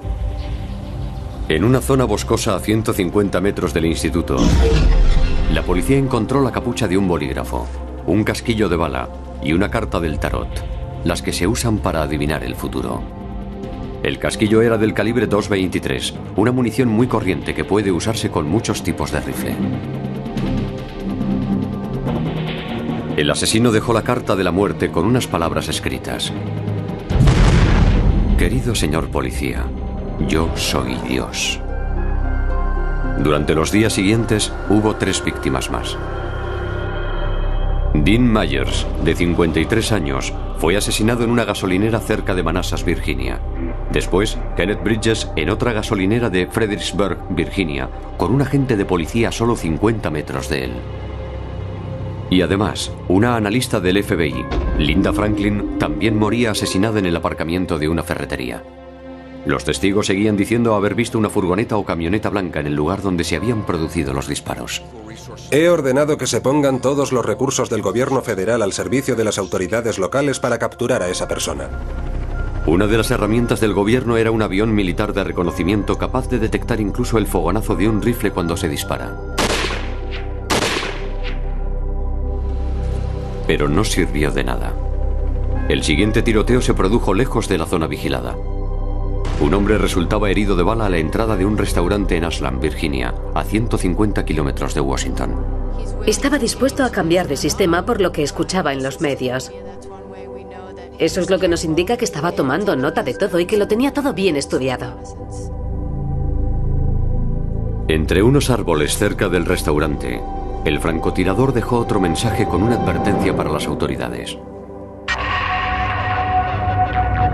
Después de disparar contra la duodécima víctima en una horrible serie de crímenes, el francotirador dejó otra nota. Era una carta de cuatro páginas dentro de una bolsa de plástico junto con un casquillo de bala. En la carta exigía que se ingresaran 10 millones de dólares en la cuenta de una tarjeta de crédito a nombre de un conductor de autobús de Arizona, al que le habían robado la cartera antes de los ataques. Después de 10 o 12 muertes, de repente decide que quiere dinero. Yo creo que lo del dinero es algo secundario. Estaba pensando, aquí el que manda soy yo. Harán lo que yo les diga. Tengo la vida y la muerte en mis manos. ¿Por qué no pedir 10 millones de dólares? ¿Por qué no pedir mil millones? Lo que suele acabar con este tipo de gente es su narcisismo. Basta con darles cuerda suficiente para que se cuelguen ellos mismos. Al final se vuelven demasiado gallitos. La carta estaba mal redactada y con faltas de ortografía, y en la cuarta página empleaba el término nosotros, lo que indicaba que podía haber más de una persona implicada. En la carta contenía la advertencia de que si no se cumplían las exigencias habría más asesinatos. Sí, le han disparado. Está aquí tumbado. Dense prisa, por favor. Tienen que ayudarnos. Estamos en el autobús. A la mañana siguiente, Conrad Johnson, de 35 años, fue asesinado al bajar de un autobús y se encontró otra nota parecida a la anterior en una zona arbolada cercana al lugar de los hechos. Los francotiradores intentaron establecer contacto con los investigadores varias veces a través de la línea caliente abierta para el caso. En su mayoría eran mensajes que decían, llamadme Dios. Pero fue otra comunicación que establecieron, la que delataría a los asesinos. El francotirador había llamado a un sacerdote católico de Ashland, Virginia, pidiendo perdón por todas las muertes ocurridas. Pero además, también recordó un asesinato que había cometido en Montgomery, Alabama. Curiosamente, la policía de Montgomery, Alabama, tenía un caso de homicidio sin resolver. Un mes antes, dos empleados de una tienda de licores habían resultado heridos de bala cuando estaban cerrando el establecimiento. Uno de ellos moriría más tarde. Kelly Adams sobrevivió a las heridas, pero no llegó a ver al autor de los disparos. Podría estar muerta. Ya no confío en nada, ni en nadie. Los testigos dijeron haber visto a uno de los sospechosos perder una revista mientras huía de la escena del crimen. Los expertos forenses de Alabama analizaron la revista utilizando varias técnicas distintas como polvos magnéticos y nidrina.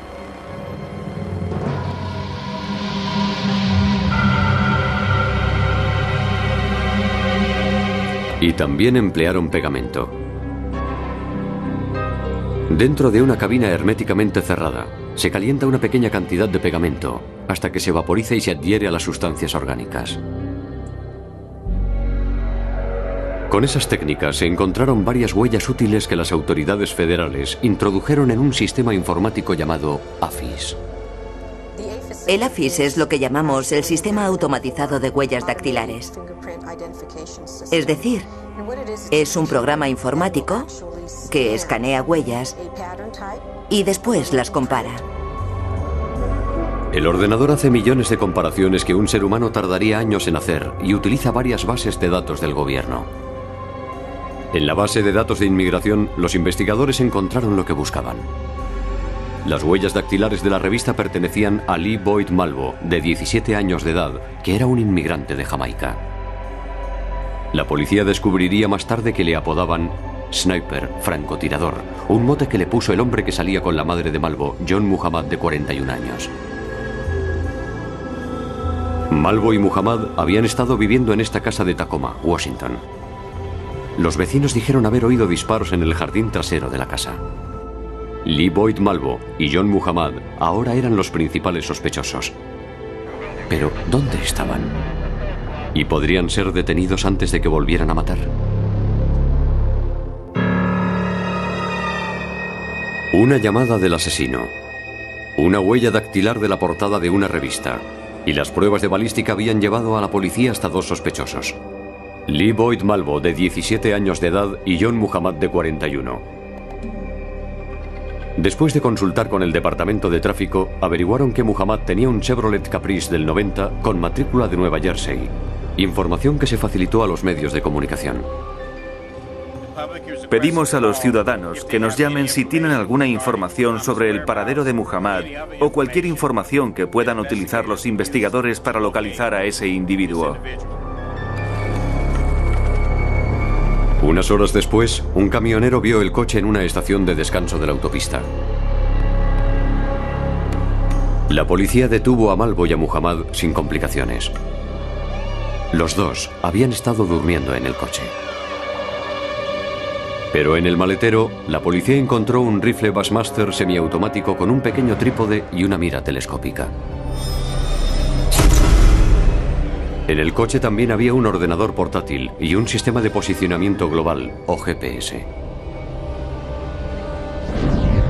Los satélites que están en órbita pueden localizar instantáneamente cualquier coche que tenga un GPS y proporcionarle mapas de la zona para encontrar la mejor ruta de escape. En el ordenador portátil había borradores de cartas con una redacción parecida a la de los comunicados anteriores de los francotiradores. En el ordenador también estaban marcados los puntos donde se habían producido los ataques, algunos con una calavera y dos tibias. Y los investigadores también encontraron una lista con el encabezado. Personas que morirán luego. En ella aparecía el sacerdote de Aslan, Virginia y otra persona de una emisora de radio local. El rifle que estaba en el coche de Muhammad fue enviado a la central de la ATF al jefe de departamento Walter Dandridge. Los investigadores quieren esta información cuanto antes. Y las estrías del cañón del rifle coincidían con las marcas de los fragmentos de bala extraídos de las víctimas. Los resultados de las pruebas forenses del arma encontrada en el vehículo ocupado por Muhammad demuestran claramente que se trata del arma homicida.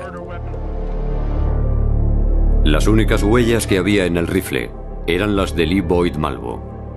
Sin embargo, encontraron ADN de los dos sospechosos en algunas zonas de la mira telescópica del arma homicida. El ADN de Malvo también estaba en la capucha de bolígrafo encontrada cerca del instituto.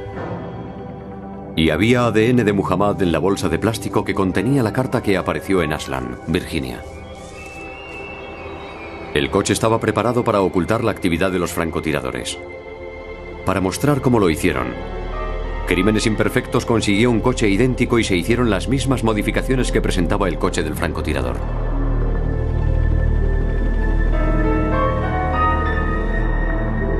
Había un agujero de 10 centímetros. En el maletero se había cortado una parte del asiento trasero. Como vemos en esta demostración, sería fácil para alguien meterse en el maletero y disparar a través del agujero. Esto es lo que se vería mirando a través de la mira telescópica del rifle. Eso combinado con la protección de disparar desde el maletero de un coche y un conductor para abandonar la escena del crimen, basta para entender cómo pudieron escapar tan limpiamente. Aunque hubiera habido un policía cerca del coche, no habría notado nada sospechoso. El fogonazo del disparo no podría haber sido detectado por el avión de reconocimiento. El perfil geográfico indicaba que los francotiradores vivían cerca del primer grupo de víctimas. Y en cierta forma así era. El búnker móvil que era su casa les permitía llegar a la zona de equilibrio que indicaba el perfil geográfico, cerca de casa, pero manteniendo el anonimato. Pero aún quedaba el porqué de tantas muertes. Tiene que haber un motivo. La gente no sale por las buenas a matar personas. La ex esposa de Muhammad cree que sabe por qué.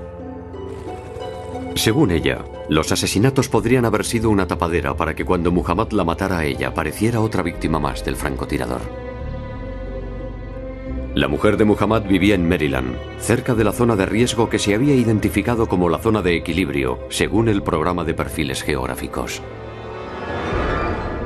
Las pruebas forenses son lo más importante para resolver un caso. Los de perfiles geográficos no son clarividentes. Nosotros no jugamos a eso. Nosotros hacemos un trabajo serio de investigación. John Muhammad y Lee Boyd Malvo fueron juzgados y condenados por dos acusaciones de asesinato premeditado. Muhammad también fue condenado por conspiración para cometer asesinato y uso indebido de armas de fuego. Muhammad fue condenado a muerte. Malvo fue condenado a cadena perpetua. En los tribunales, cada vez se piden más pruebas concluyentes. Y la ciencia forense y de balística es lo que más nos ayuda a conseguir esas pruebas, porque no cabe error cuando se relaciona una bala concreta con un arma concreta. Es como coger a alguien con una pistola humeante en la mano.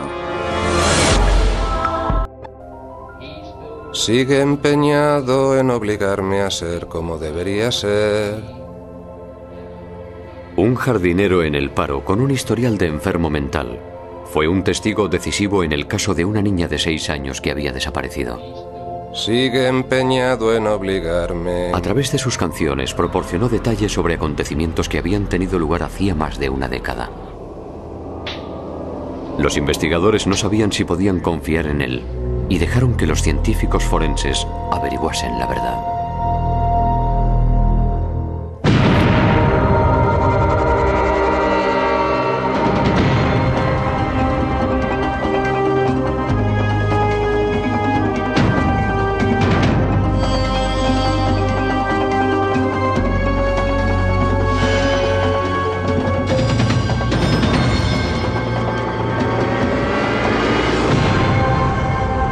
Crímenes imperfectos.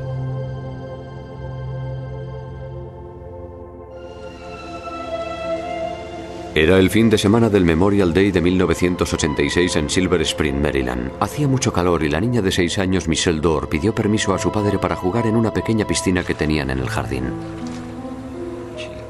Estuvo jugando un rato en la piscina y enseñándome cómo hacía burbujas en el agua y cosas así. Michelle estaba pasando el fin de semana con su padre. Sus padres estaban en trámites de un difícil divorcio y la custodia de Michelle, su única hija, aún no había sido establecida.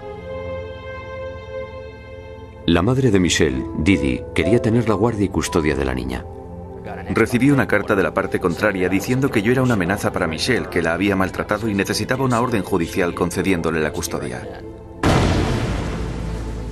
Pero esos problemas quedaron a un lado ante lo que Carl creía que iba a ser un agradable fin de semana con su hija. Después de preparar la comida, Carl salió fuera para ver cómo estaba Michelle, pero había desaparecido. Entonces fue a casa de sus vecinos, los Clark, para ver si la niña estaba allí visitando a su amiga Elizabeth, pero no la habían visto. Me dijeron, no, no está aquí. Y vi a Elizabeth y tampoco estaba con ella. No podía creer lo que me estaba diciendo Jeff. Al principio no podía entender por qué no estaba con Elizabeth. Y entonces fue cuando lo comprendí. Michelle nunca había ido más allá de la casa de los Clark. Algo iba mal. Carl Dorr se puso en contacto con la policía inmediatamente. No era la clase de niña que se va por ahí indiscriminadamente. No era la clase de niña que se escapa a la aventura y habla con desconocidos. La casa de los Clark estaba a unos 100 metros de la mía. Así que no me preocupaba si se iba y cruzaba la calle. Si quería buscarla, sabía dónde encontrarla. Cuando la policía se puso en contacto con la madre de Michelle, Didi, les dijo que ella sabía lo que le había pasado a Michelle. Directamente les dijo que había sido yo, que yo le había hecho algo a Michelle. La madre de Michelle dijo a la policía que él había amenazado con hacerle daño a su propia hija, que en un momento de furia, en medio de un divorcio muy desagradable, había amenazado con llevarse a la niña para que ella no pudiera verla.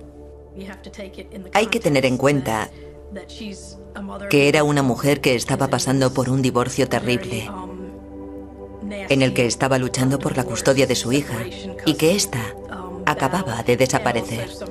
Así que eso se debe tener en cuenta. Carl Dorr estaba indignado por la acusación de su exmujer y exigió que le sometieran a la prueba del polígrafo. No la pasó. Pretendía decirme que no había pasado la prueba del polígrafo. Eso era imposible. Yo no tenía nada que ver con la desaparición de Michelle. No me diga que no he pasado la prueba. Eso no es posible. Carl Dorr se había convertido en el principal sospechoso. Y pronto tendría que explicar a la policía el papel que jugó en la desaparición de su hija.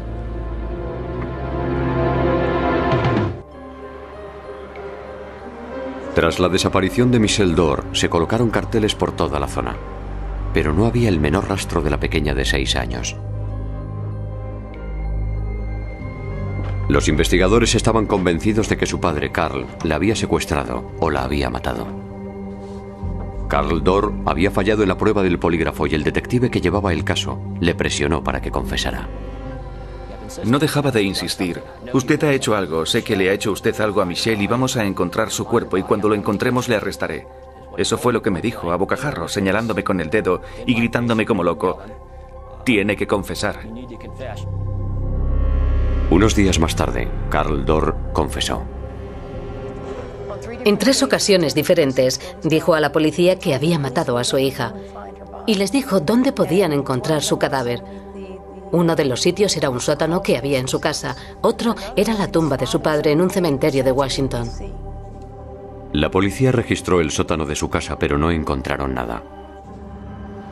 También registraron el cementerio en el que estaba enterrado el padre, pero tampoco había nada. Se sentía muy presionado. La policía le estaba presionando mucho y a consecuencia de tanta presión y la culpabilidad, más la pena que sentía por la desaparición de su hija, se vino abajo. Yo no... No podía soportar que me dijeran que no la iban a encontrar viva. Era algo que me resultaba imposible aceptar. Entonces ingresó voluntariamente en un hospital local. Creía que la televisión le estaba hablando y que él tenía poderes para encontrar a Michelle y devolverle la vida. Estaba perdiendo la cabeza, quiero decir en un sentido psiquiátrico. Había caído en una crisis profunda. Tenía alucinaciones, veía cosas que no existían, veía personas que no estaban allí. Después de tres días de sedación y el descanso necesario, Carl fue dado de alta y al salir del hospital dijo a la prensa que él nunca había confesado. Dijo que su declaración había sido tergiversada y que él no era culpable. Para demostrarlo, pidió que le hicieran nuevamente la prueba del polígrafo. Y esta vez la pasó. Los investigadores empezaban ahora a preguntarse si tal vez Michelle Dorr pudo haber sido secuestrada por otra persona. Según mi experiencia, cuando se trata de un caso en el que alguien confiesa o en el que la policía se equivoca de sospechoso, intentan hacer que todos los hechos se encajen con esa persona. Están tan ocupados en eso y tan obsesionados con que su sospechoso sea el correcto, es él y ya está, que se olvidan de buscar otras opciones. Pasaron meses y luego años sin que se supiera nada de Michelle. La investigación quedó parada. Para la policía, Carl Dorr seguía siendo el sospechoso, pero no tenían pruebas suficientes para acusarle. Después, seis años más tarde, sucedió algo inesperado. Diez días después de que Laura Hautelin desapareciera de su casa de Bethesda, su familia cree saber qué fue lo que le sucedió. Sin aparente relación alguna con el caso, apareció la noticia de la desaparición de Laura Hautelin, una graduada de Harvard que vivía a escasos kilómetros de Michelle y Carl Dorr.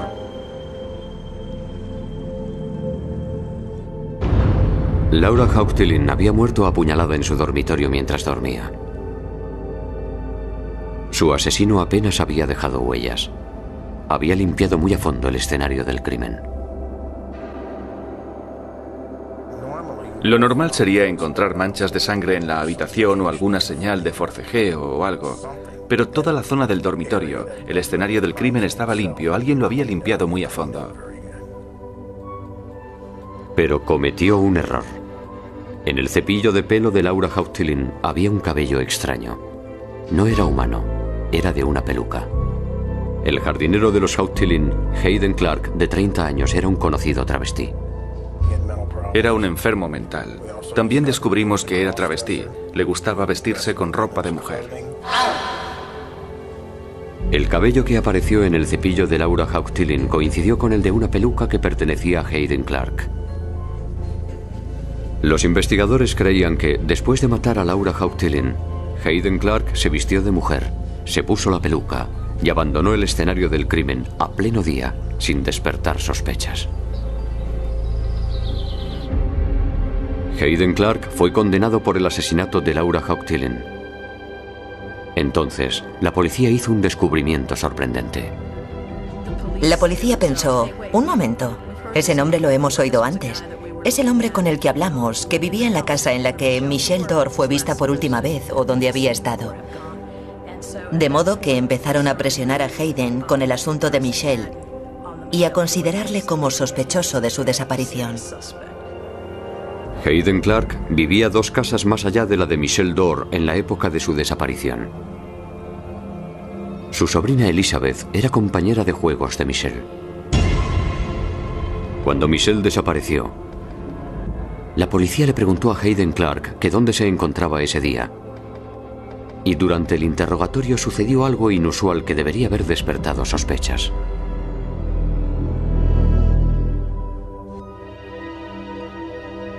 Hayden Clark confesó haber asesinado a Laura Hawk Tilling de 24 años, pero negó haber tenido nada que ver con la desaparición de Michelle Dor. Pero el día en que desapareció Michelle, la policía descubrió que Clark estaba solo en la casa de su hermano, situada dos puertas más allá de la casa de Michelle. Estaba recogiendo sus cosas porque su hermano le había echado por lo que él llamaba una conducta inapropiada con los niños.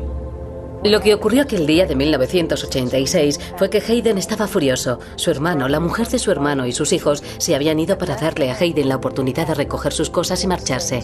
Le habían dado un plazo para abandonar la casa. Aquel mismo día, la policía interrogó a Hayden Clark y le preguntó si sabía algo sobre la desaparición de Michelle.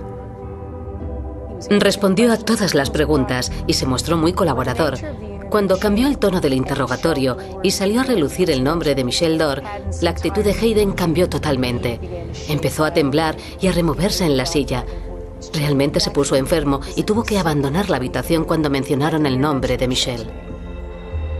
Aunque la policía sabía que su comportamiento era inusual, fue descartado como sospechoso cuando Carl Dor se confesó culpable. No había pruebas de que Hayden Clark hubiera matado a Michelle Dor, aparte de su nerviosismo y extraño comportamiento, el cual podía atribuirse a muchas cosas, entre ellas a su enfermedad mental. Por eso la policía abandonó la idea de Hayden Clark y se concentró en Cal Dor durante meses y años después de la desaparición de Michelle. ¿Cómo es posible que no sospechasen de ese tipo?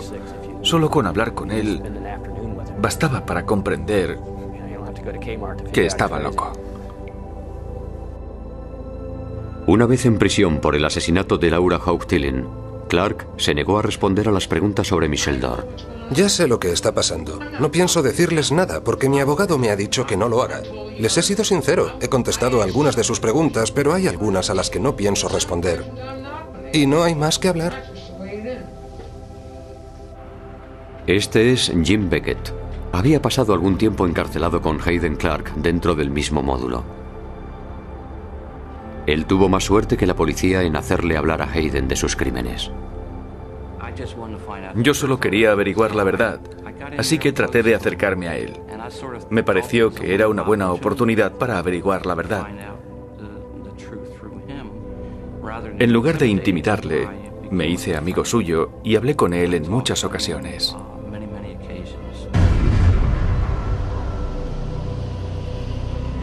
Un día, Beckett y Clark estaban en la cafetería de la prisión y Beckett le preguntó a Hayden por lo de Michelle Dor. Me dijo que era una niña encantadora. Observé que se alteraba hablando de ella. Le miré y le dije, Hayden, ¿por qué lo hiciste? Y al preguntárselo yo en buen tono, contestó de golpe y dijo, yo no quería hacerlo.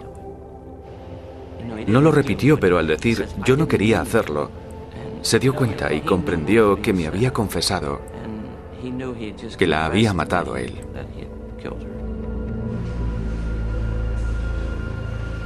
Entonces Beckett contó a la policía que Clark le había confesado que había matado a Michelle Dorr en una pequeña habitación de la casa de su hermano. Pero la policía no tenía pruebas forenses para poder acusar a Clark. Sin embargo, de pronto recordaron lo bien que había limpiado Clark el escenario del crimen cuando asesinó a Laura Hautelen. La policía toca voz y comprendió que había sido capaz de limpiar meticulosamente la escena del crimen que contenía mucha sangre. Había borrado todas las huellas hasta tal punto que los miembros de la familia no sospecharon en absoluto que allí se había cometido un crimen. Habían pasado 10 años desde la desaparición de Michelle y el hermano de Hayden Clark había vendido la casa, y en ese tiempo la habían ocupado varias familias. La policía se preguntaba si aún se podría encontrar alguna prueba forense.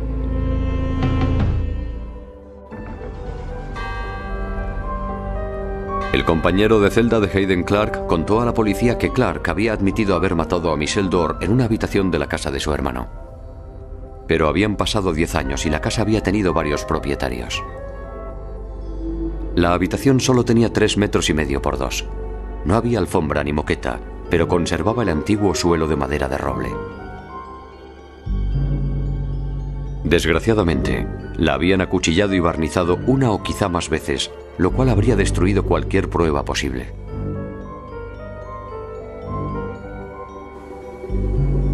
Para averiguarlo, la policía utilizó luminol, un producto que brilla al entrar en contacto con el hierro que contiene la sangre. Tras rociar el suelo, la policía observó un débil brillo por las juntas de la tarima. Lo que en realidad se veía eran largas rayas luminosas entre las tablillas de madera, no en la superficie del suelo, sino profundamente incrustadas en las juntas de las tablillas. El suelo entero se desmontó para analizarlo. Los investigadores querían saber si la sangre que había entre las tablas de madera era humana, y en tal caso, de quién podía ser. La científica forense Susan Balu utilizó bastoncitos de algodón para limpiar los lados de las juntas de cada tabla de madera. Enjuagó los bastoncitos con fenoltaleína y después con peróxido de hidrógeno. Tan solo dos pequeñísimas zonas se pusieron moradas, presunta prueba de que había sangre, pero no era una muestra lo bastante grande para obtener el ADN. Entonces tuvimos que decidir qué otra cosa podíamos hacer con esas muestras de sangre, pues necesitábamos saber de dónde procedían. Así que los científicos decidieron hacer una prueba mitocondrial de ADN. Las mitocondrias se encuentran fuera del núcleo de la célula y se transmiten por los genes de madre a hijos. No es tan precisa como una prueba nuclear, pero puede ser utilizada como identificación. Hay muchas más mitos, como nosotros las llamamos, presentes en una célula que en el núcleo. Así que la teoría es que debido al gran número de mitos que hay en cada célula, hay mayor oportunidad de obtener un nivel más alto de ADN mitocondrial y conseguir mejores resultados. El ADN mitocondrial de la sangre que había entre las ranuras de la madera coincidía con el ADN mitocondrial de la madre de Michelle. Es decir, que alguien de su familia sangró en ese lugar. Como la que había estado dentro de esa casa era Michelle y no su madre, se suponía que la sangre era de Michelle. La acusación sostenía que mientras Carl entró en casa para preparar la comida, Michelle se fue de la piscina para ir a buscar a su amiga Elizabeth. Por una coincidencia extraña y trágica, cuando Michelle llamó a la puerta de Elizabeth, no había nadie en la casa excepto Hayden, que estaba recogiendo sus cosas, puesto que su hermano le había ordenado que se fuera. Creemos que vio a Michelle. Le pareció que era una oportunidad para desfogar su ira. Y al mismo tiempo vengarse de su hermano.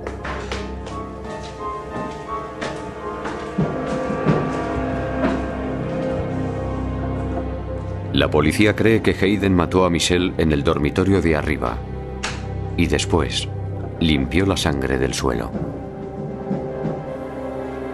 Probablemente metió el cuerpo de Michelle en una de las bolsas que los vecinos le vieron sacar cuando más tarde abandonaba la casa.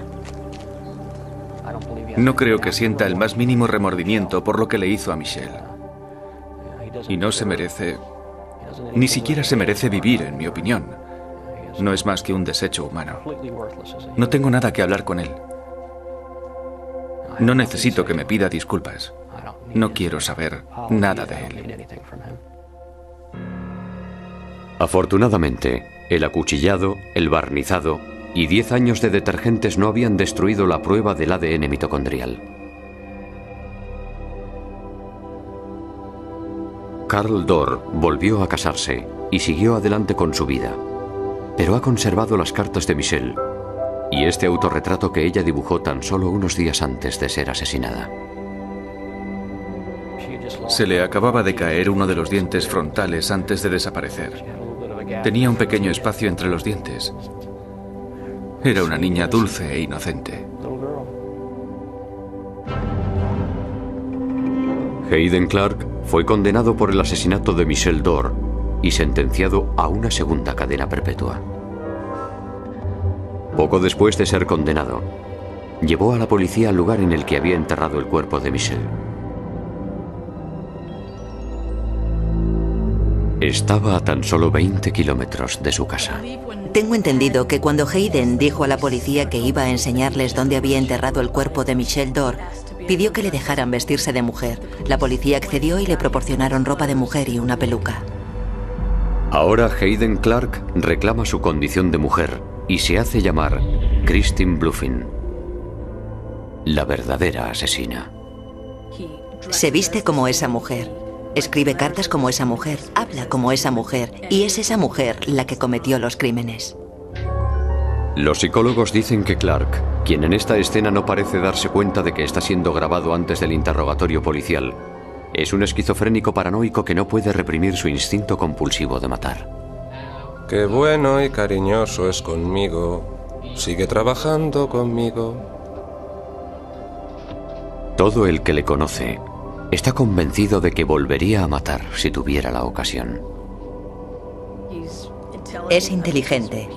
Yo creo que durante mucho tiempo estuvo burlando a la justicia y que sabe muy bien lo que hace. Es bueno en su trabajo. Sin duda es un asesino muy hábil. Limpia meticulosamente los lugares en los que mata y lo deja todo bien atado. Sin embargo, siempre hemos conseguido encontrar alguna pequeña huella que nos ha permitido identificar a Hayden Clark como el autor de sus crímenes. Entre 1995 y 1998, en Gran Bretaña, 25 jóvenes presentaron unos síntomas inusuales. Tenían dificultades para mantenerse en pie, caminar y alimentarse. También sufrían una grave pérdida de memoria. La mayoría murieron al cabo de un año de padecer estos síntomas. Los investigadores médicos buscaron pistas. ¿Cuál era la causa de aquellas muertes? ¿Tenían alguna relación entre sí?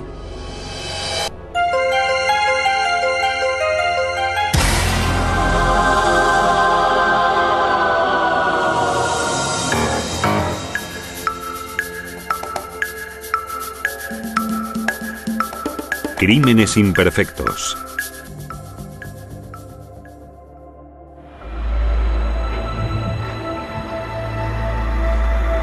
La pequeña ciudad de Devizes, en Inglaterra, fundada en el siglo XVII.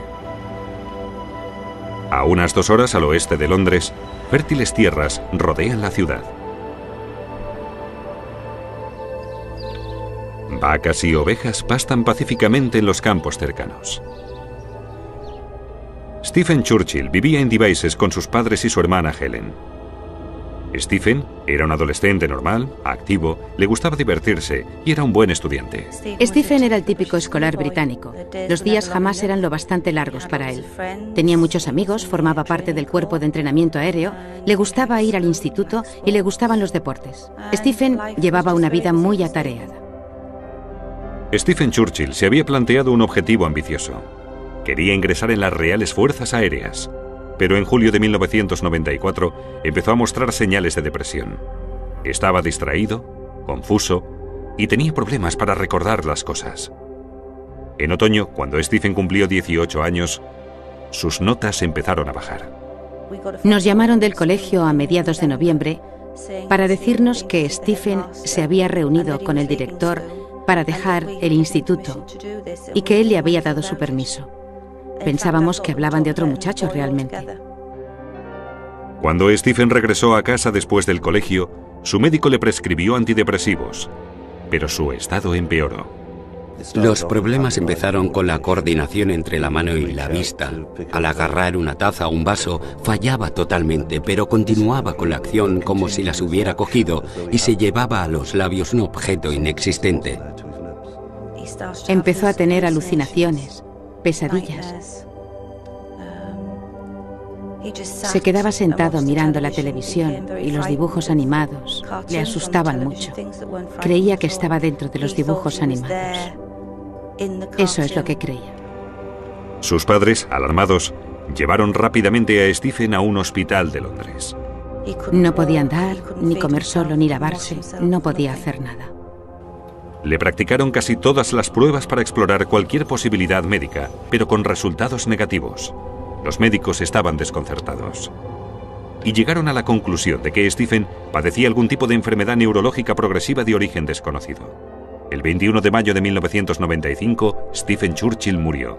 Tenía 19 años. Durante el duelo, los Churchill se llevaron una sorpresa al conocer los resultados de la autopsia de su hijo. Stephen había muerto de la enfermedad de Creutzfeldt-Jakob o CJD. Es una enfermedad extremadamente rara que provoca la formación de minúsculos orificios en el cerebro. Suele afectar a los ancianos y siempre es mortal. Stephen Churchill era una de las víctimas más jóvenes conocidas de esta enfermedad. No comprendíamos por qué un muchacho joven, que se encontraba en buena forma y en plena salud, había muerto por una enfermedad de ancianos. Tampoco tenía sentido para los investigadores médicos. Cuando Stephen Churchill murió de CJD, una enfermedad neurológica que generalmente afecta a los ancianos, los médicos se alarmaron.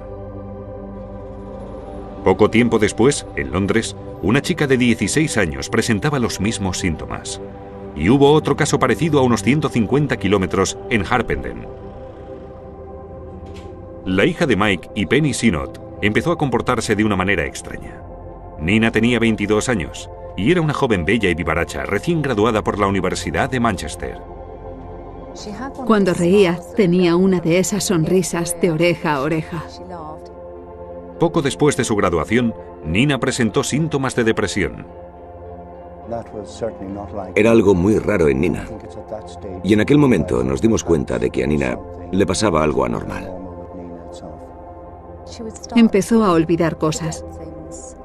Olvidaba quién la había llamado, olvidaba dónde había escrito algo. El estado físico de Nina también se deterioró y la sometieron a diversas pruebas en el Royal Free Hospital de Londres. Un día pasé un momento por la consulta de uno de los médicos y le dije, sé que le están haciendo muchas pruebas a Nina. ¿Tienen algún resultado? Y me respondió, bueno, todos dan negativo, no tenemos ningún resultado positivo. Y yo le dije, ¿qué significa esto? ¿Qué cree usted que es?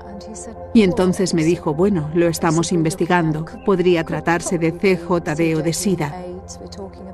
En aquella época no estaba preparada para eso. Y me senté y le pregunté, ¿me está usted diciendo que mi hija va a morir? Y él respondió, bueno, probablemente sí. Recuerdo un día que la estaba cuidando en casa Y me miró y me dijo, papá, me voy a morir, ¿verdad? ¿Cómo diablos le dices algo así a tu hija? ¿Cómo responder a una pregunta como esta? Nueve meses después de presentar los síntomas, Nina murió. Nina fue muy valiente. Intentó mantener la sonrisa durante todo el proceso. Este es el recuerdo que guardo de ella. Como los médicos de Nina sospechaban que había muerto de CJD, enviaron muestras de sus tejidos cerebrales junto con las de Stephen Churchill a la unidad de vigilancia de Edimburgo, en Escocia. Me llevé una sorpresa al ver algo tan diferente por el microscopio. Era muy raro e inmediatamente pensé, ¿por qué es diferente? ¿Cómo he podido no verlo? ¿Cómo no lo advertí antes? El doctor Ironside había examinado más de 200 casos de CJD, pero jamás había visto algo parecido. Las muestras cerebrales estaban llenas de placas o depósitos grasos y el tejido cerebral circundante estaba casi totalmente destruido. Un colega del Dr. Ironside definió las muestras como lo más aterrador que había visto en su vida. El Dr. Ironside advirtió cambios celulares en el cerebro, lo cual significaba que se trataba de una nueva forma de CJD, que llamaron nueva variante de CJD, pero desconocían su causa. Durante los meses siguientes se registraron más casos. La unidad de vigilancia de CJD entrevistó a todas las familias de las víctimas, que debían cumplimentar un cuestionario de 22 páginas. Las preguntas trataban de la dieta, hábitos de viaje, actividades, cualquier tema que pudiera arrojar un poco de luz sobre aquella nueva enfermedad. Según el estudio, todas las víctimas eran jóvenes y habían enfermado todas en un breve plazo de tiempo. Procedían todas de diversos puntos de Gran Bretaña y no se concentraban en una zona geográfica concreta. En la mayoría de casos, los primeros síntomas fueron depresión y pérdida de memoria. ¿Puedes decirme qué día es hoy? No lo sé. Los pacientes tenían dificultades para caminar, para mantenerse en pie e incluso para alimentarse. Es una enfermedad terrible, absolutamente horrible. Para una familia resulta extremadamente difícil ver a un ser querido en estas condiciones. Es una enfermedad brutal. Los científicos comprobaron que los síntomas físicos de la nueva variante de CJD eran similares a los de una enfermedad que afectaba a las vacas en Gran Bretaña. Los granjeros la llamaban la enfermedad de las vacas locas. El término médico es encefalopatía espongiforme bovina, o BSE. Es una enfermedad mortal que apareció por primera vez en esta granja de Inglaterra en 1985. Los científicos desconocen sus causas y su origen, pero están preocupados. Las vacas reaccionan con más fuerza ante la luz, el sonido, los movimientos son bruscos y presentan estados de pánico.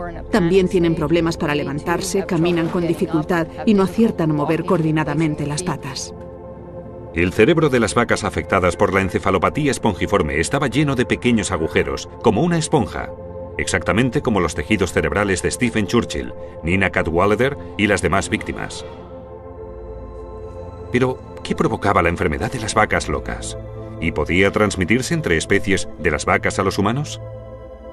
A miles de kilómetros de distancia, en una isla del Océano Pacífico, había una inquietante pista.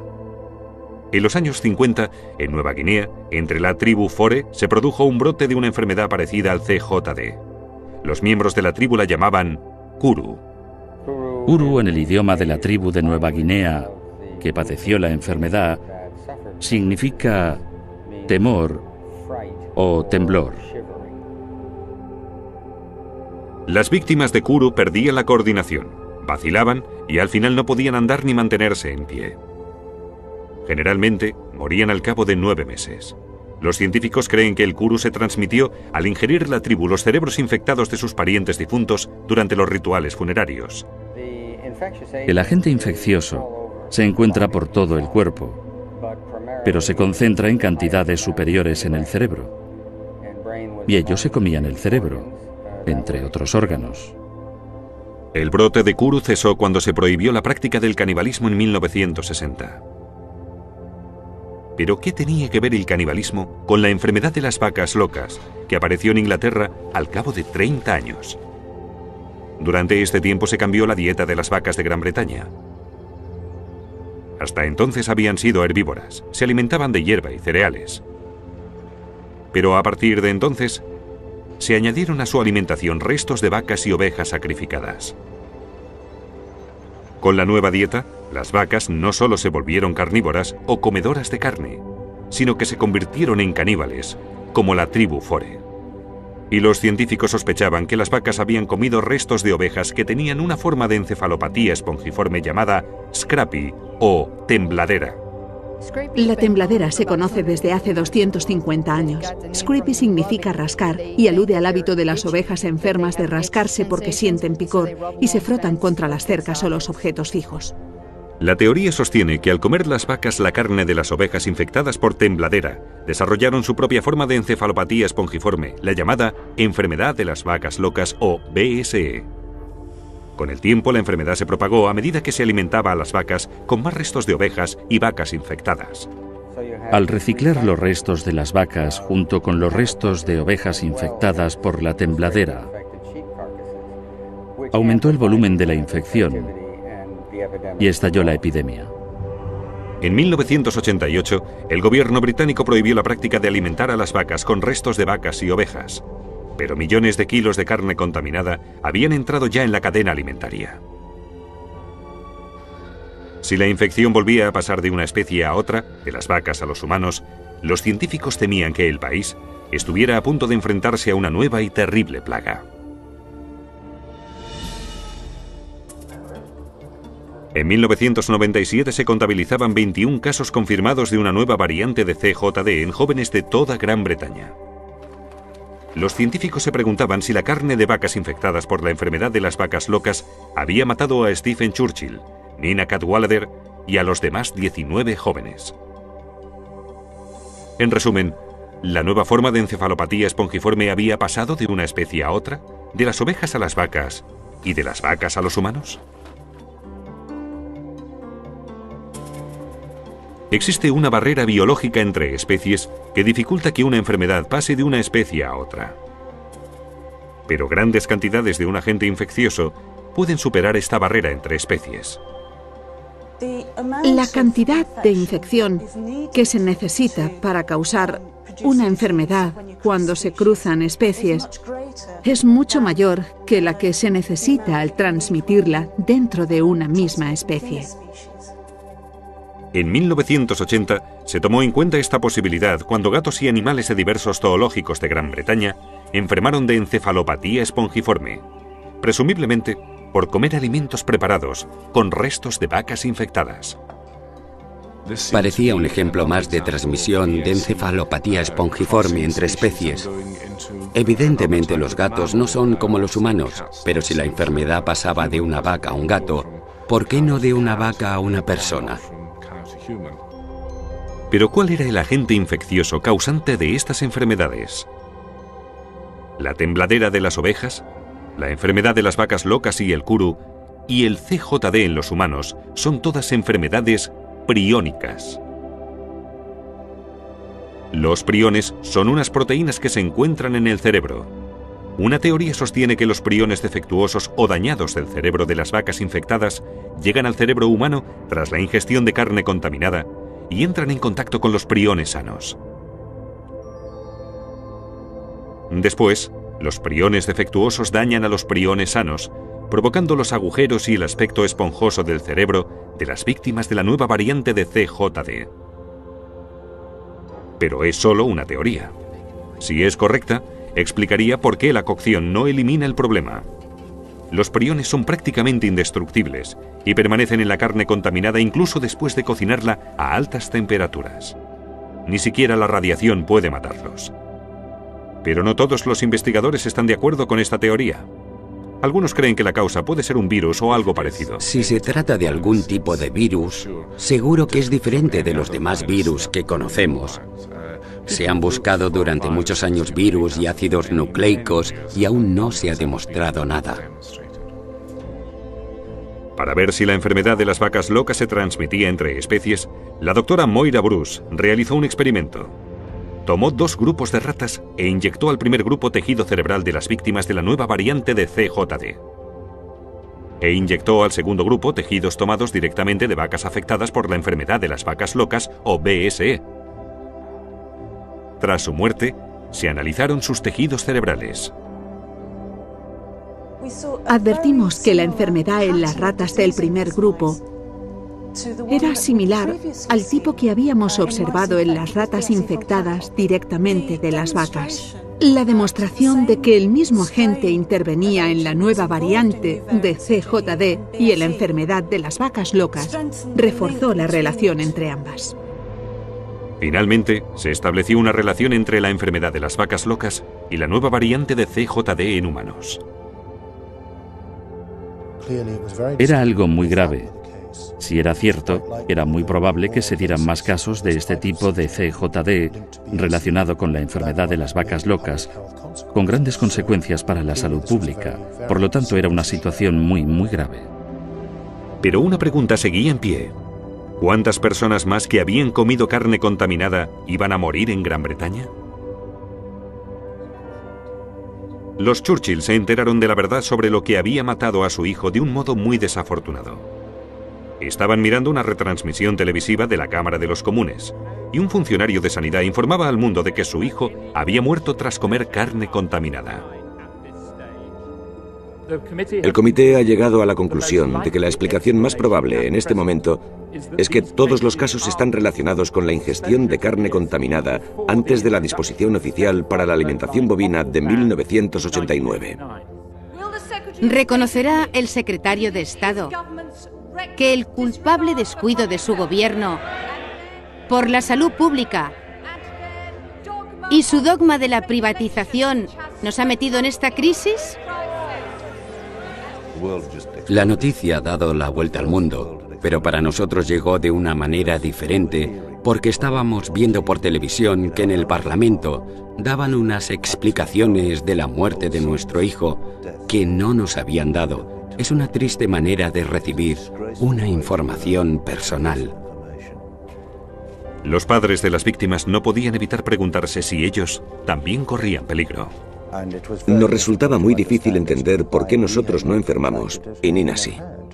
Muchas personas están preocupadas porque dicen, toda la familia comimos lo mismo. ¿Qué riesgo hay para mis demás hijos, para mi marido? Se plantean esa clase de preguntas. No comeré ternera hasta que lo hayan solucionado, hasta que den suficiente seguridad a la gente de que podemos comerla. Estamos muy preocupados. No creo que nos arruine. Espero que no nos hunda, pero tendrá un tremendo efecto sobre nuestros ingresos. No hay cura para la nueva variante de CJD. Los científicos creen que la parte más infecciosa de la vaca es el cerebro y la médula espinal, que se usaban para fabricar embutidos y pasteles de carne. Actualmente no se usan en productos alimenticios. No se ha comprobado que la carne de vacuno, la leche la sangre contengan la enfermedad de las vacas locas. Pero voces críticas apuntan que las pruebas no son definitivas. La lógica sugiere que millones de británicos ingirieron carne contaminada, no solo los que murieron. Se han hecho pruebas genéticas que sugieren que algunas personas son más susceptibles genéticamente a las enfermedades priónicas que otras. Cuando se difundió la noticia de la conexión entre la enfermedad de las vacas locas y la nueva variante de CJD, la mayoría de restaurantes y cadenas de comida rápida de Gran Bretaña dejaron de comprar carne británica. Muchos países europeos y también los Estados Unidos prohibieron la importación de ganado y carne británicos. Hasta la semana pasada el 50% de mi negocio era la exportación a Europa o a terceros países. Acabó el jueves pasado el resto es para gente como McDonald's. Esto también se ha acabado. Además de la teoría de los priones, existe otra que sostiene que el contagio depende de la cantidad de carne ingerida. Pero nadie sabe por qué la nueva variante de CJD afecta sobre todo a los jóvenes. Una de las posibles explicaciones es la dieta de los jóvenes. Comen mucha comida basura, mucha comida industrial y mucha carne barata. Por lo tanto, están mucho más expuestos al agente infeccioso. Otra posible explicación es que los jóvenes, simplemente por ser jóvenes, son más susceptibles a estos agentes. Ha habido muy pocos casos de enfermedad de las vacas locas en otras partes del mundo, y hasta el momento ninguna en los Estados Unidos. El gobierno de los Estados Unidos prohibió la práctica de alimentar el ganado con restos de ovejas o vacas. La práctica también se ha prohibido en Gran Bretaña, pero no antes de sacrificar más de 170.000 vacas. Desde entonces, se examinan las reses buscando cualquier señal de la enfermedad de las vacas locas o BSE. Los Churchill y los Synod ya no comen carne de vacuno y se preguntan si se habría podido hacer más para evitar el contagio de la enfermedad de las vacas locas que sufrieron sus hijos. Los científicos tardarán mucho tiempo en saber exactamente lo que pasó y por qué. ¿Y por qué Nina murió? ¿Y por qué murieron tantos jóvenes de su misma edad? En 1988, 25 jóvenes británicos murieron a causa de una nueva variante de CJD. Dado su largo tiempo de incubación, los científicos no pueden predecir cuántas personas más están condenadas a morir. Nadie en el mundo sabe aún si el número de casos de la nueva variante de CJD disminuirá los próximos años hasta desaparecer, o bien los tres o cuatro casos anuales que se han producido durante los pasados cuatro o cinco años son el preludio de una epidemia de dimensiones desconocidas. Me preocupa en gran manera, pero creo que en este momento es imposible predecir lo que va a suceder. La perspectiva de que decenas de miles de jóvenes sufran esta devastadora enfermedad neurodegenerativa es aterradora. No sabemos cuánta gente la puede contraer. Y en este momento creo que no hay modo de saberlo. Podría ser un gran número de personas o un número reducido. Creo que cualquier familia que tenga que pasar por lo que nosotros hemos pasado, ver cómo se deshace una joven vida,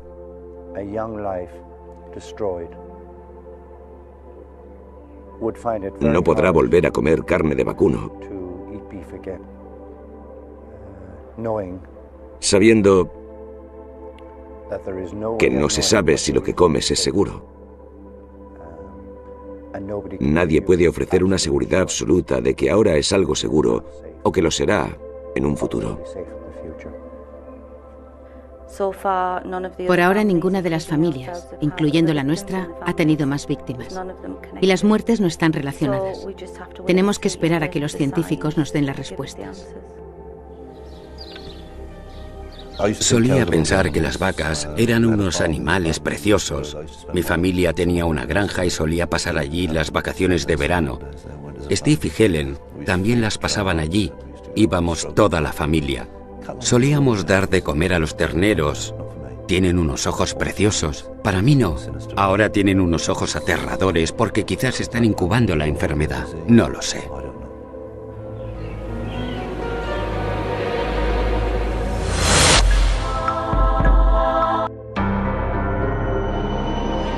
Una mujer fue víctima de una emboscada en la entrada de su casa. Los testigos no se pusieron de acuerdo, pero un experto grafólogo encontró pruebas de que tenía un admirador secreto con un móvil no tan secreto. En el siglo XIX, Manchester, Connecticut, era la capital mundial de la seda. Hoy en día, las fábricas se han convertido en apartamentos y la ciudad florece con nuevas inversiones. Creo que rondamos los 58.000 habitantes. Tenemos un gran parque comercial en la zona norte de la ciudad que atrae a mucha gente. En Manchester vivían Gail y Doug Islip, casados desde hacía algo más de tres años. Ambos tenían hijos ya mayores de anteriores matrimonios. Era la abuelita de todo el mundo. Sus nietos eran toda su vida, incluso los hijos de mis primas eran nietos para ella. Éramos una familia muy unida, muy conectada. Pero en la primavera de 1996, la familia de Gail advirtió que se estaba comportando de forma sospechosa. Yo le hablé del tema, le dije, mamá, ¿qué haces? ¿Por qué tapas las ventanas con mantas? Y ella me contestó, bueno, nunca se sabe. Alguien podría estar ahí fuera mirándonos por la ventana. En otra ocasión, Gail no había permitido que su hija condujera su coche. Aparcó detrás de mí y le dije, mamá, ¿dónde están tus llaves? Pero ella se negó a dejarme su coche. Decía, no, no, no, solo tienes que empujarlo. Es que tengo muy poca gasolina. Se inventaba una excusa tras otra. Hasta una sencilla llamada telefónica afectaba a Gail. Cuando sonaba el teléfono, era evidente que se ponía nerviosa. Le preocupaba quién podía estar llamando. Supongo que creía estar protegiéndonos, evitando que nos expusiéramos a cualquier peligro a nuestro alrededor. El 30 de abril de 1996, Gail terminó su turno en los grandes almacenes Walmart hacia las 10 de la noche y se marchó a casa.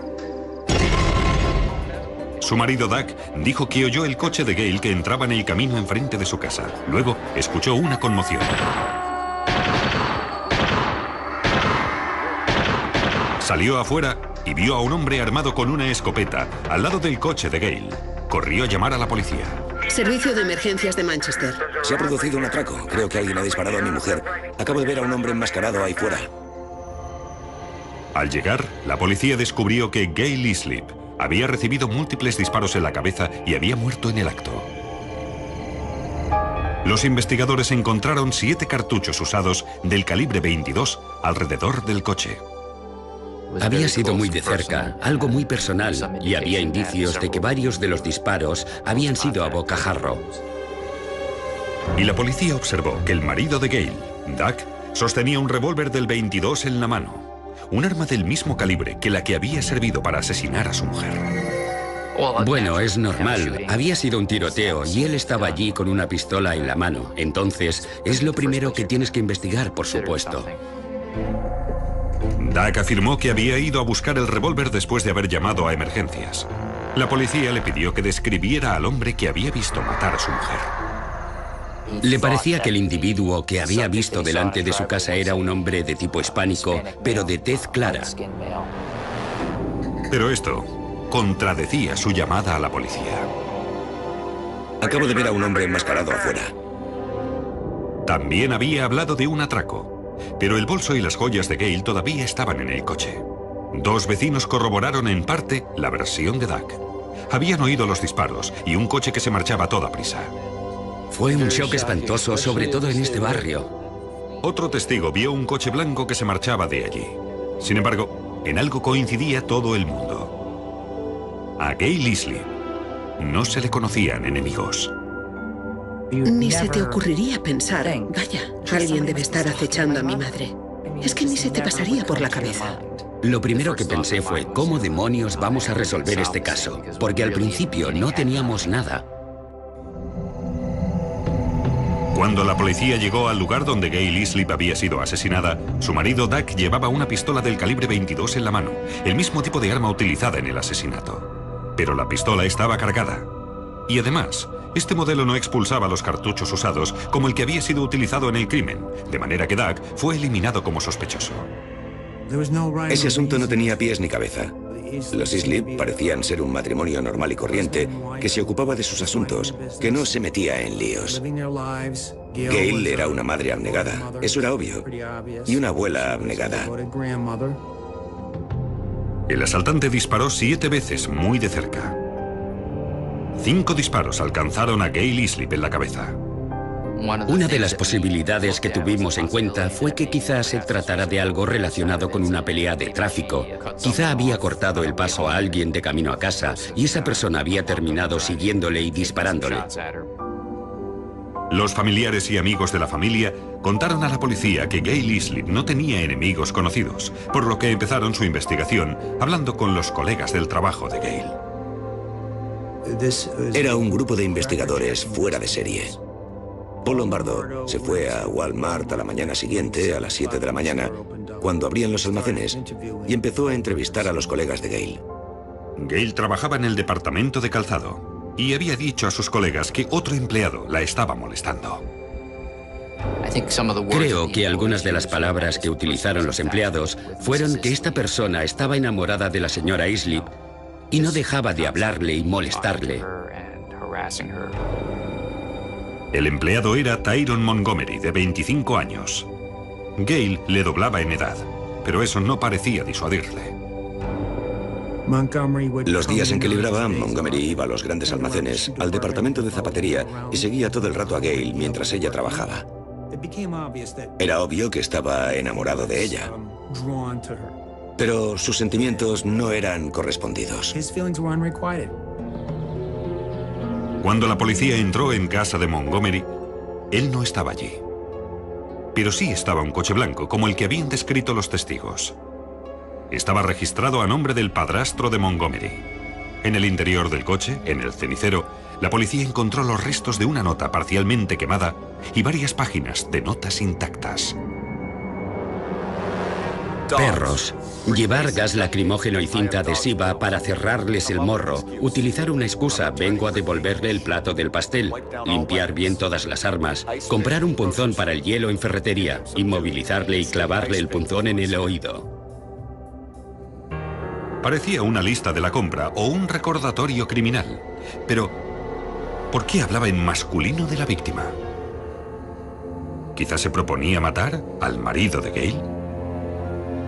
En aquel momento no teníamos la posibilidad de hablar con él de este asunto, por lo que tuvimos que encontrar otras formas de relacionar estas notas con Tyron. De manera que mandaron la nota al grafólogo forense Jim Streeter, especializado en examinar documentos junto con muestras de la letra de Tyron, sacadas de su solicitud de empleo en los grandes almacenes. Observé enseguida numerosas características en su caligrafía. Por ejemplo, en esta letra, de estilo tipográfico, las J mayúsculas eran casi cursivas. A menudo casi parecían una letra L, una L cursiva. Eso en cuanto a una letra. Luego, en la E minúscula, siempre aparecía un trazo de entrada a la izquierda del trazo perpendicular, tanto en la muestra de letra a investigar como en el documento que sabíamos había escrito él.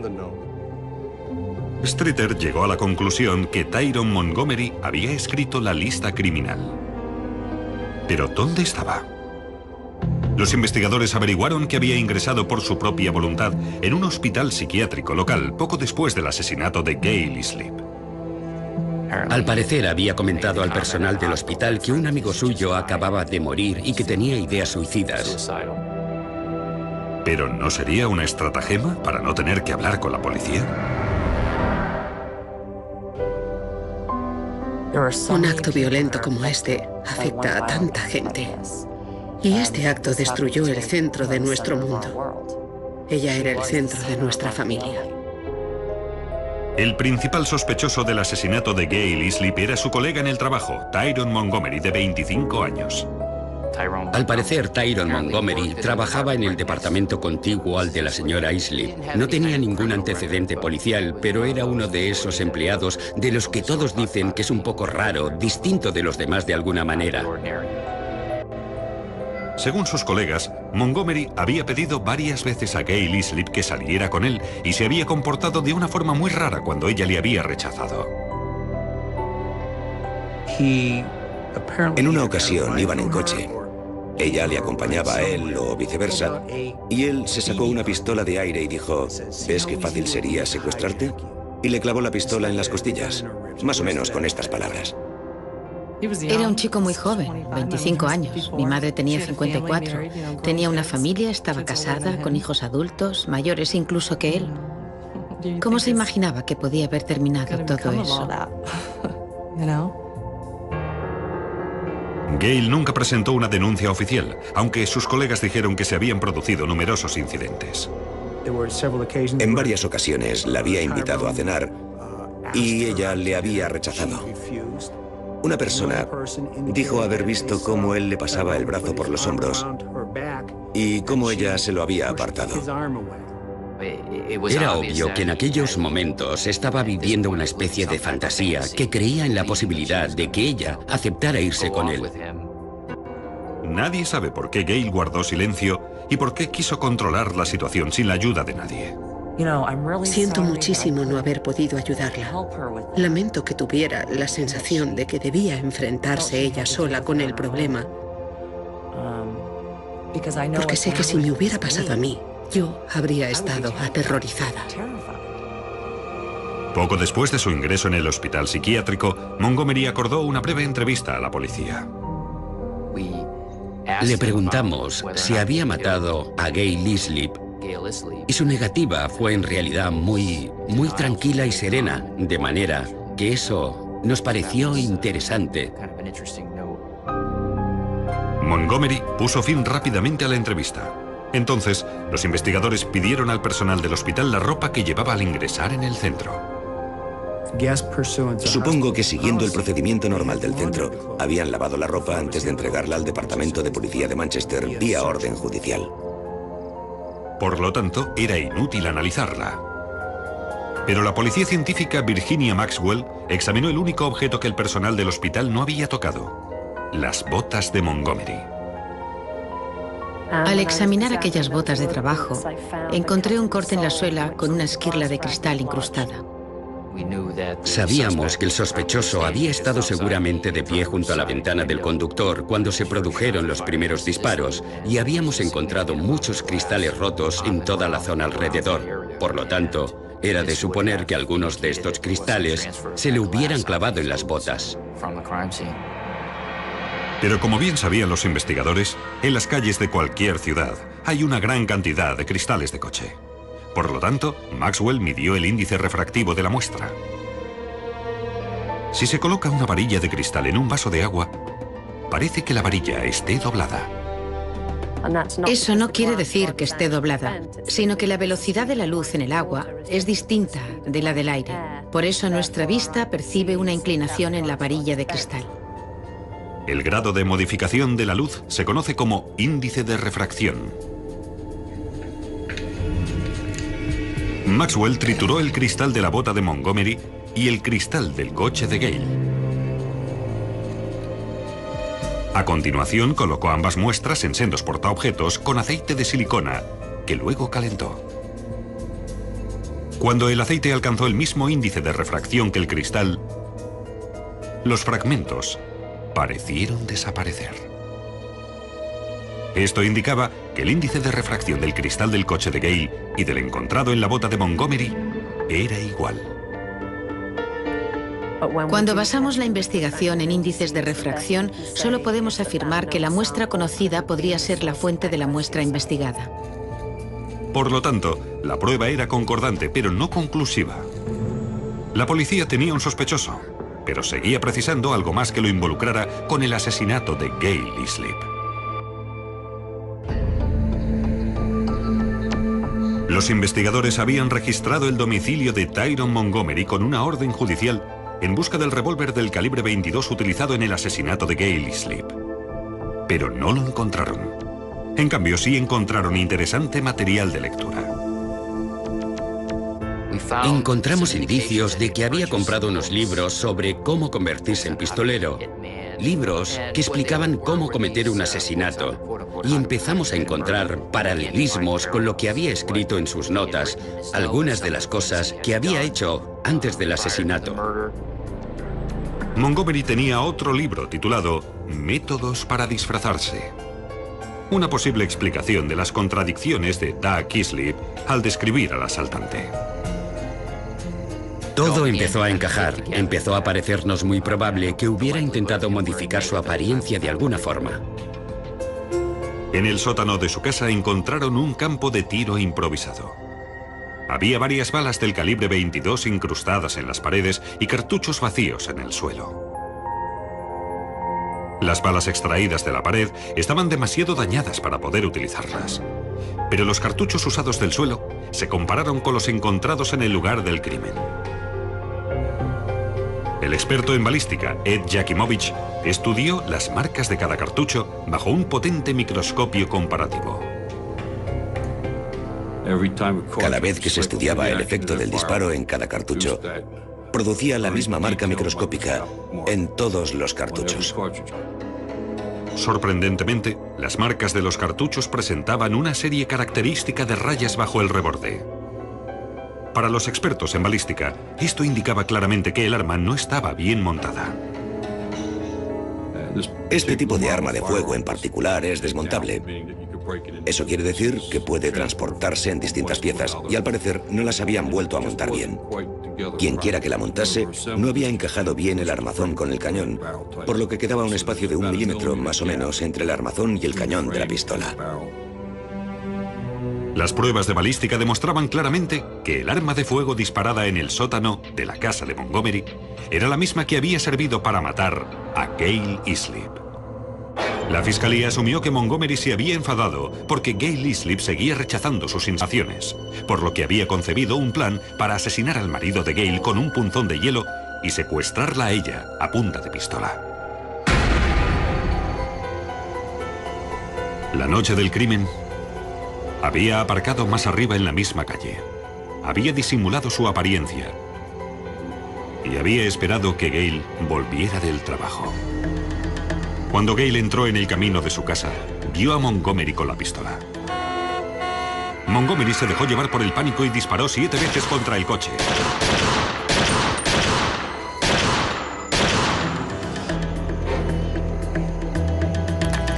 En su huida, una esquirla de cristal se le clavó en la bota. Las notas escritas en el coche, los cartuchos en el sótano y el cristal en su bota le involucraron definitivamente en el asesinato. Vas encontrando piezas sueltas y cuando empiezas a unirlas, te das cuenta de que forman una prueba muy consistente. Tyron Montgomery fue detenido y acusado de asesinato. Aunque no necesitaran información sobre cómo había conseguido el arma homicida, querían encontrarla. De manera que volvieron a interrogar al jefe del departamento de armas de fuego en los grandes almacenes donde trabajaba Montgomery. Y esta vez, el encargado reconoció que Montgomery había comprado un rifle del calibre 22 poco antes del asesinato de Gail Sleep. Montgomery le había dicho que quería utilizarlo para cazar. No creo que puedas derribar a un ciervo o a un alce con un rifle del calibre 22. Quizá puedas cazar una ardilla o un conejo, o quizá un faisán si tienes buena puntería, pero no cazarás ninguna pieza de caza mayor en esta zona del país con un rifle del calibre 22. Cuando el responsable se había enterado de que Gail Islip había muerto asesinada con un arma del calibre 22, se había asustado y había modificado los libros de registros. Montgomery se habría beneficiado de esta trampa, puesto que así no habría quedado constancia alguna de que este rifle se hubiera vendido en aquel establecimiento. Ahora, al conseguir el número de serie del rifle, la policía pudo encontrarlo. Lo tenía un hombre que lo había comprado de segunda mano. Las pruebas de balística demostraron que era el arma del crimen y que no estaba bien montada. Si observas este lado del cartucho o la superficie de la circunferencia, la marca más obvia en este caso en particular era la marca accidental debido al montaje deficiente de este rifle. En octubre de 1997, Tyron Montgomery fue declarado culpable de asesinato con premeditación y condenado a 65 años de cárcel. Nadie sabe por qué alguien como Montgomery había podido creer que sus planes de secuestro tenían probabilidades de éxito. Pero la ciencia no había dejado lugar a dudas. En ciertos aspectos lo había planificado mucho y en otros su planificación era bastante patética. Sus intentos para borrar las pistas eran bastante patéticos. Esta investigación se solucionó con un trabajo de equipo, mucho más que cualquier otro caso de mi larga carrera de detective. Tuvimos suerte de que pudieran guardar ciertas pruebas, que pudieran analizarlas y que pudieran deducir entonces ciertos hechos indiscutibles. Así, la acusación lo tuvo mucho más fácil para conseguir que le declararan culpable.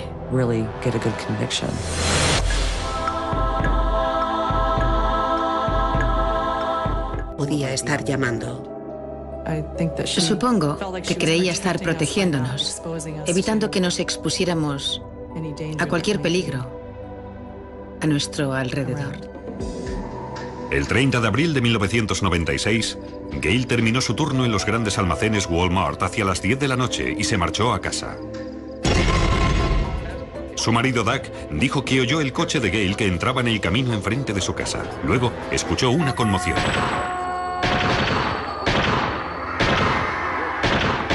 Salió afuera y vio a un hombre armado con una escopeta al lado del coche de Gail. Corrió a llamar a la policía. Servicio de emergencias de Manchester. Se ha producido un atraco. Creo que alguien ha disparado a mi mujer. Acabo de ver a un hombre enmascarado ahí fuera. Al llegar, la policía descubrió que Gail Islip había recibido múltiples disparos en la cabeza y había muerto en el acto. Acabo de ver a un hombre enmascarado afuera. También había hablado de un atraco, pero el bolso y las joyas de Gail todavía estaban en el coche. Dos vecinos corroboraron en parte la versión de Doug. Habían oído los disparos y un coche que se marchaba a toda prisa. Fue un shock espantoso, sobre todo en este barrio. Otro testigo vio un coche blanco que se marchaba de allí. Sin embargo, en algo coincidía todo el mundo. A Gail Isley no se le conocían enemigos. Ni se te ocurriría pensar, vaya, alguien debe estar acechando a mi madre. Es que ni se te pasaría por la cabeza. Lo primero que pensé fue, ¿cómo demonios vamos a resolver este caso? Porque al principio no teníamos nada.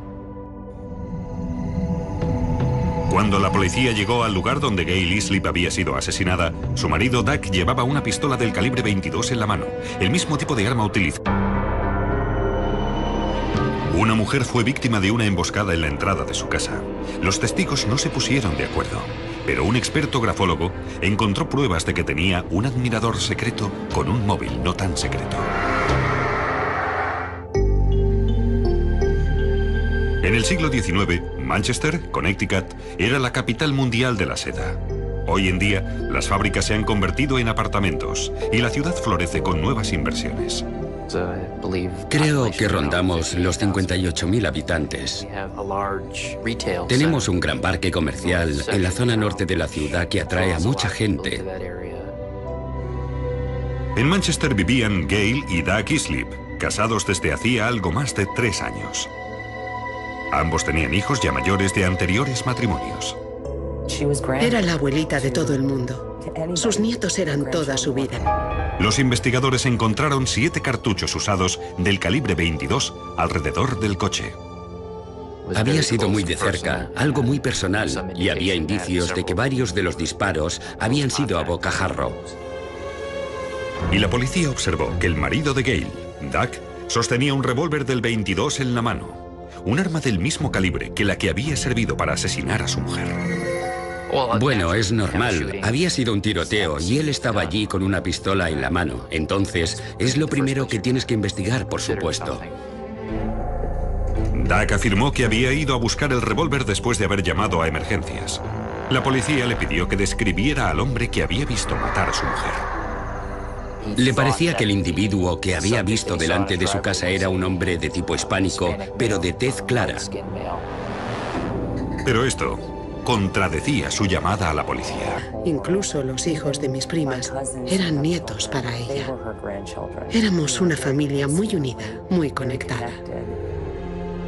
Pero en la primavera de 1996, la familia de Gail advirtió que se estaba comportando de forma sospechosa.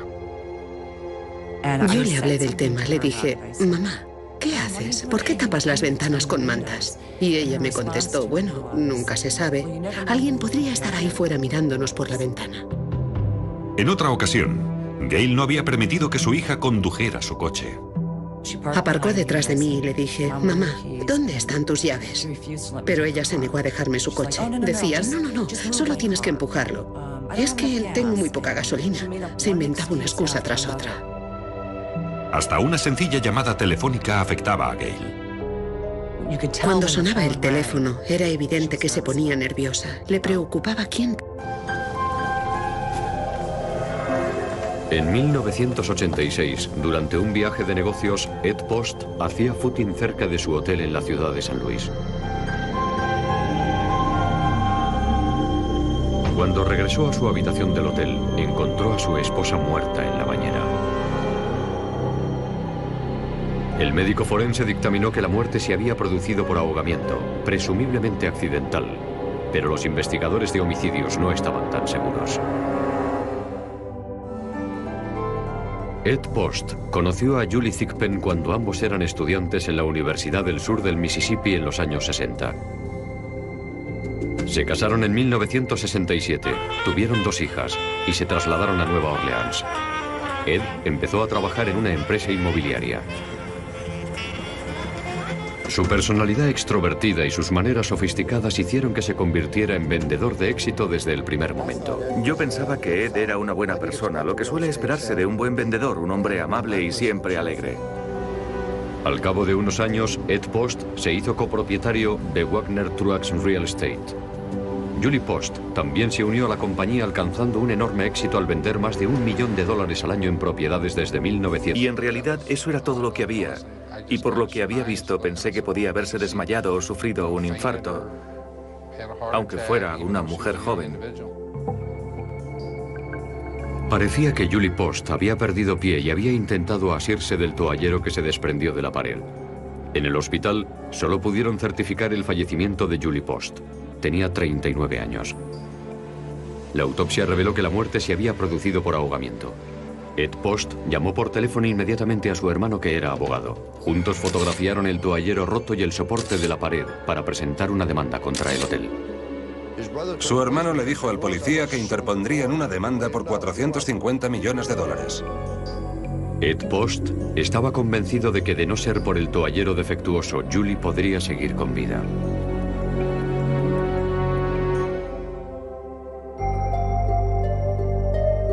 Después de dictaminar la muerte de Julie Post, se practicó una autopsia en St. Louis antes de que el cadáver fuera trasladado a Nueva Orleans para el entierro. En la autopsia no se detectaron alcohol ni drogas en su organismo. Había algunos golpes y hematomas en el cuerpo, pero parecía algo normal después de intentar reanimarla al sacarla de la bañera. No tenía fracturas en el cráneo ni hemorragia cerebral, lo que sería de esperar si alguien hubiera golpeado en la cabeza a la víctima antes de que se ahogara. En resumen, el patólogo no encontró ninguna prueba de que hubiera algo delictivo. Yo no estaba convencido de que fuera un accidente, pero por otro lado, no podía demostrar que hubiera algo más. El certificado de defunción decía que la causa de la muerte era indeterminada. Cuando el St. Louis Post Dispatch publicó la noticia de la muerte de Julie Post, se produjeron algunas reacciones interesantes. Dee Joyce Hayes era abogada de la oficina del fiscal del distrito y su marido, Gary, era detective del departamento de policía de St. Louis. Dee había leído un artículo sobre una mujer que había muerto ahogada en una bañera del Hotel Omni. Y me dijo, Gary, tienes que leer esto, a mí me parece que aquí hay algo raro. Los dos leímos el artículo y nos miramos y dijimos, no, imposible. El investigador de homicidios George Holasher también sospechó al leer la declaración de Ed Post a la policía. Leí toda la declaración y había algo que no cuadraba. Así que decidí hacer algunas comprobaciones y llamé a algunas personas para averiguar cuánta gente se había caído en la bañera de un hotel y había muerto en los últimos 10 años. Y averigüé que no había ocurrido nunca. A la dirección del hotel se le hacía muy difícil creer que una mujer de 55 kilos como Julie Post hubiera conseguido arrancar el toallero de la pared cuando había sido diseñado para poder soportar el doble de peso. Fuimos a dos habitaciones contiguas y yo debía pesar creo que unos 100 kilos entonces. Y cargué todo mi peso sobre los dos toalleros de las dos habitaciones y ninguno de ellos se rompió, nada. Ed Post dijo a la policía que él y su mujer mantenían una excelente relación. Pero al comprobar la situación económica de la pareja, observaron una curiosa coincidencia. Fuimos a la compañía de seguros y mira por dónde, unos 27 o 29 días antes de la muerte de Julie Post, Ed había aumentado la póliza unos 500 mil dólares. Ella era una mujer que ganaba unos 20 mil dólares de media al año. Y él le había hecho un seguro de vida por 600 o 700 mil dólares.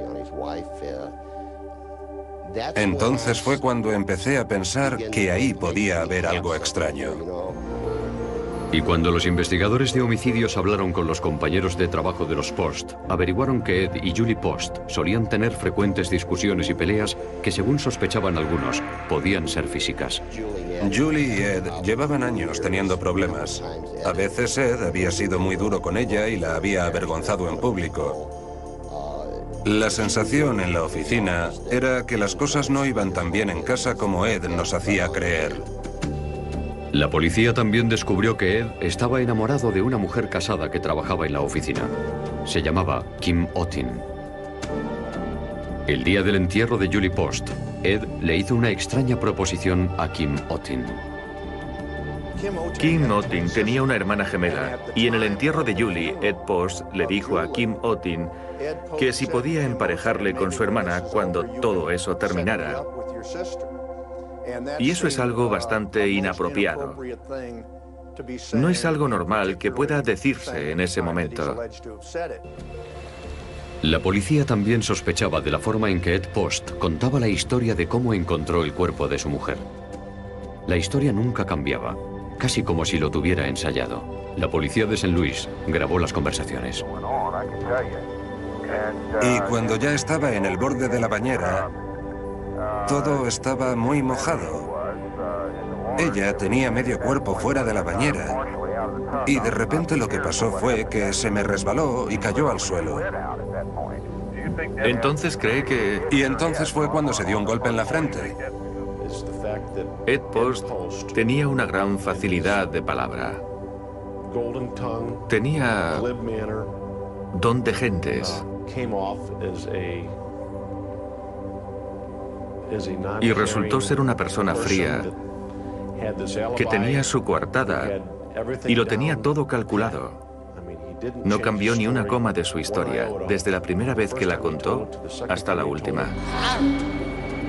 Y algunos de los empleados del hotel notaron que Ed Post se comportó de una manera sospechosa la mañana del accidente.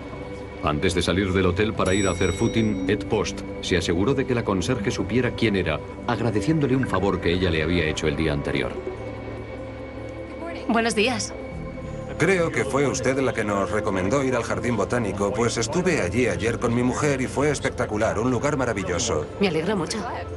Y el portero dijo que Post se presentó dando su nombre antes de salir a correr. Hola, señor. ¿Está disfrutando de su estancia? Sí, muchas gracias. Me llamo Ed Post. Voy a salir a correr un rato. Tardaré una media hora, pero después vuelvo al hotel. No se preocupe, que se divierta. Gracias. Se detuvo a propósito para saludar al portero del hotel. Le dijo quién era, en qué habitación estaba y que iba a salir a hacer footing.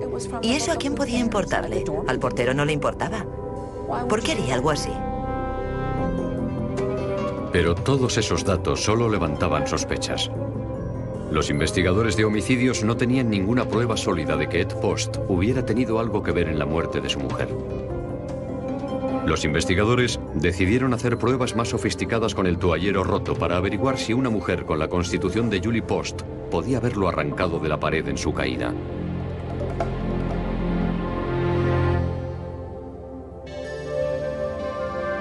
Los fiscales de St. Louis empezaban a preguntarse si la muerte de Julie Post en la bañera de un hotel había sido realmente un accidente. En la autopsia no se encontró ninguna prueba de que hubiera algo delictivo, así que los fiscales decidieron exhumar el cadáver de Julie Post para realizar una segunda autopsia. Había sido enterrada en un cementerio a las afueras de Nueva Orleans. El nivel del agua en Nueva Orleans es tan bajo que suelen enterrar a la mayoría de la gente en tumbas elevadas sobre el terreno. Pero Julie Post había sido enterrada en el suelo y su cuerpo estaba en un ataúd de madera. Los investigadores temían que el agua hubiera dañado demasiado su cuerpo. Cuando abrieron la tumba, la encontraron casi completamente llena de agua. Afortunadamente, el pie del ataúd era la parte que estaba sumergida. La cabeza era lo único que no había sido afectado por el agua. La cabeza estaba perfectamente conservada. El ataúd se había hundido y le había aplastado la nariz con la presión. Pero esa era la única deformación que se había producido. La peor parte era la parte que quedaba a los pies del ataúd. El patólogo que realizó la segunda autopsia encontró varias contusiones que no se habían apreciado en la primera autopsia.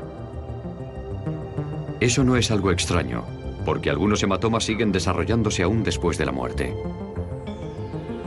Los abogados de Ed Post dijeron que los hematomas no demostraban nada y que podían haberse producido al extraer los huesos y los órganos para ser donados poco después de la muerte.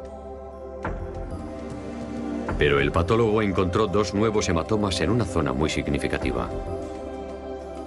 Lo único nuevo que descubrimos en la segunda autopsia fueron unos hematomas que había detrás de la cabeza a la altura del cuello.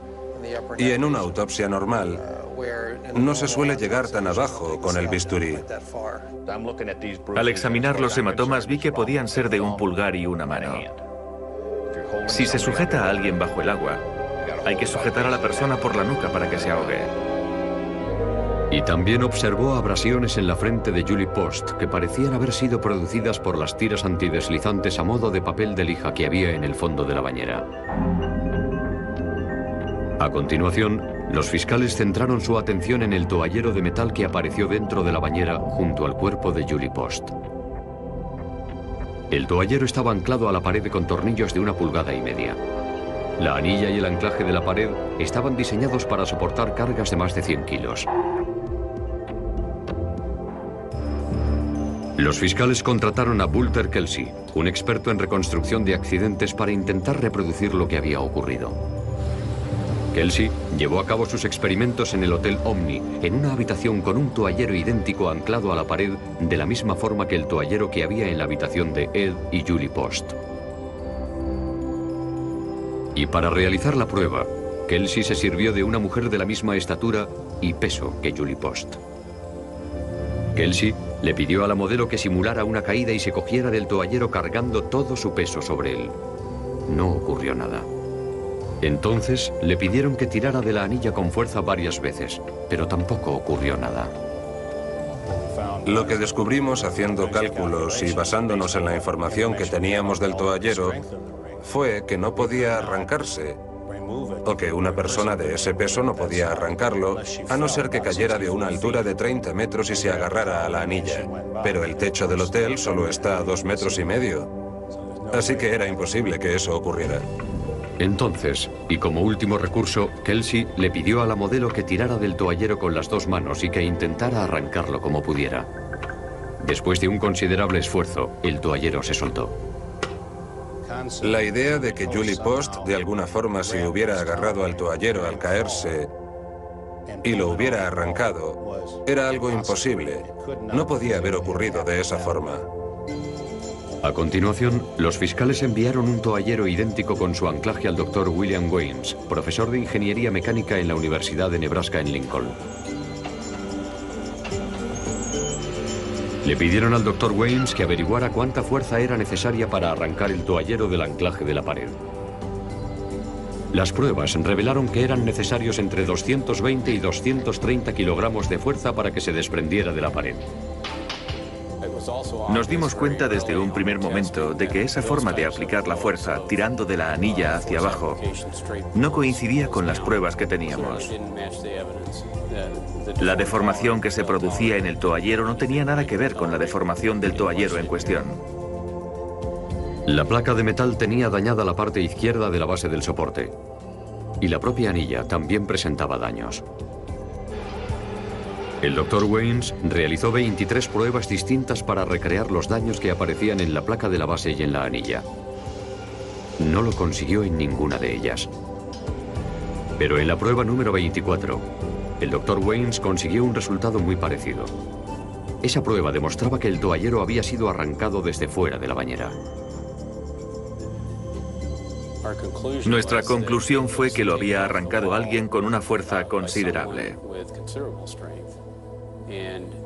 Y era más bien alguien tirando desde fuera de la bañera. Y por explicarlo de una forma gráfica, alguien que apoyara el pie en la bañera y tirara de la anilla con fuerza desde fuera de la bañera.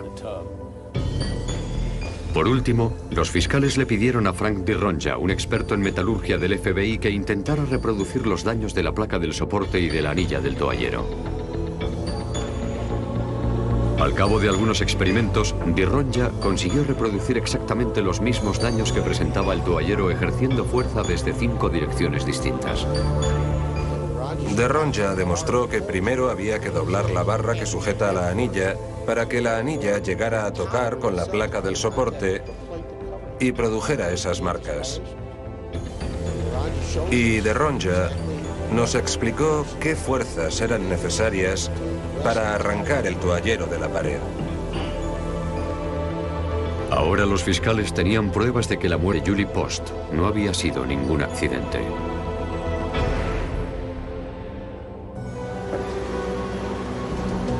En 1986, Nueva Orleans atravesaba el peor bache económico desde la Gran Depresión.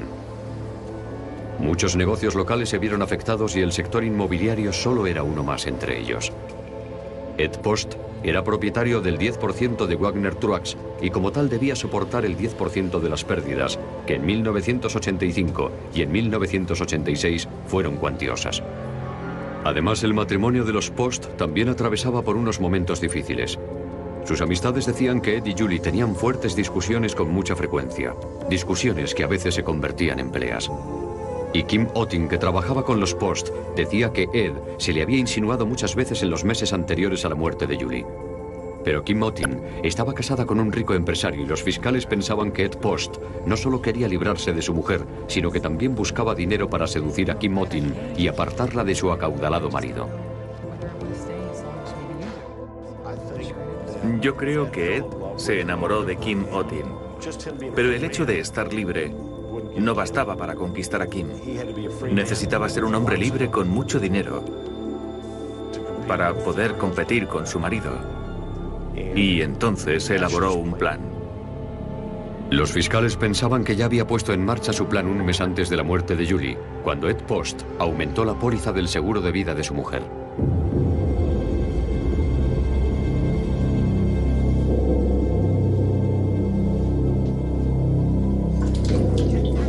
El 3 de junio de 1989, antes de salir a correr por la mañana, los fiscales creen que Post ahogó a su mujer en la bañera del hotel.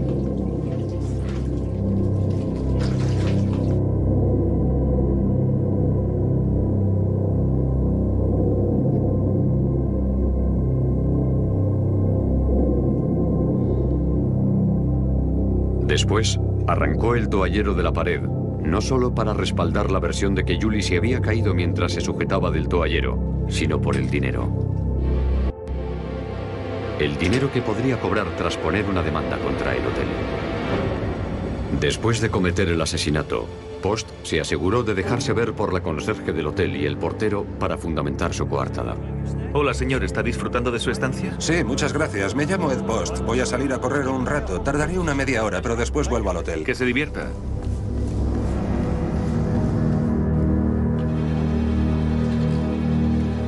Cuando volvió a su habitación media hora después, llamó a la recepción del hotel para informar sobre el accidente y llamó a su hermano para que fuera a St. Louis a fotografiar el toallero roto.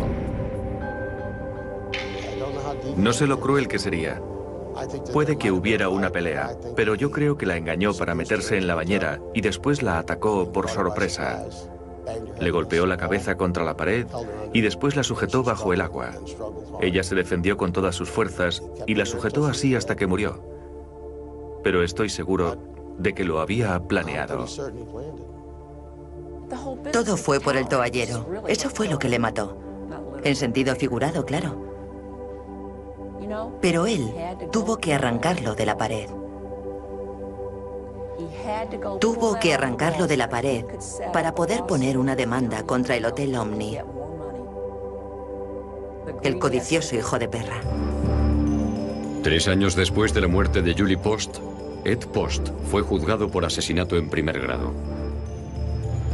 Ed Post se declaró inocente y decidió encargarse de su propia defensa.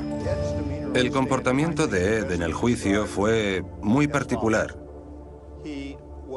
Iba muy bien vestido, estuvo muy elocuente y habló con mucha corrección, demostrando un gran dominio del lenguaje.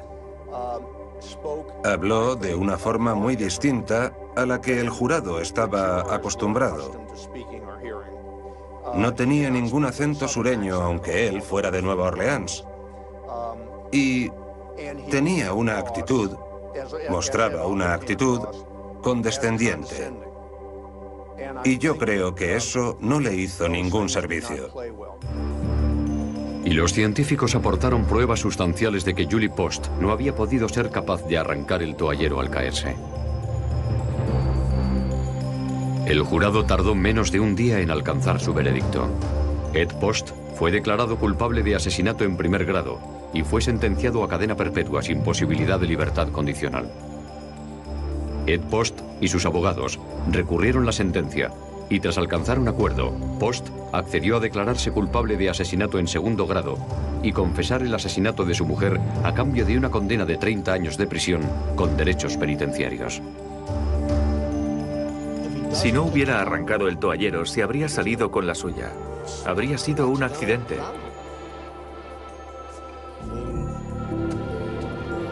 Tal y como había ocurrido, casi todo el mundo dijo que la muerte era accidental o indeterminada. De no ser por eso, Ed Post ahora estaría tan tranquilo. Podría haber demandado al hotel por un par de millones de dólares y tendría los 700.000 del seguro de vida. Y nosotros ni habríamos sabido quién era. En mi opinión, lo más importante del juicio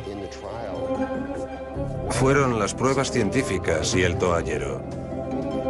Cuando demostraron que lo habían sacudido de un lado a otro hasta arrancarlo de la pared, ya estaba condenado. Si no hubiera tocado el toallero, ahora podría ser un hombre libre.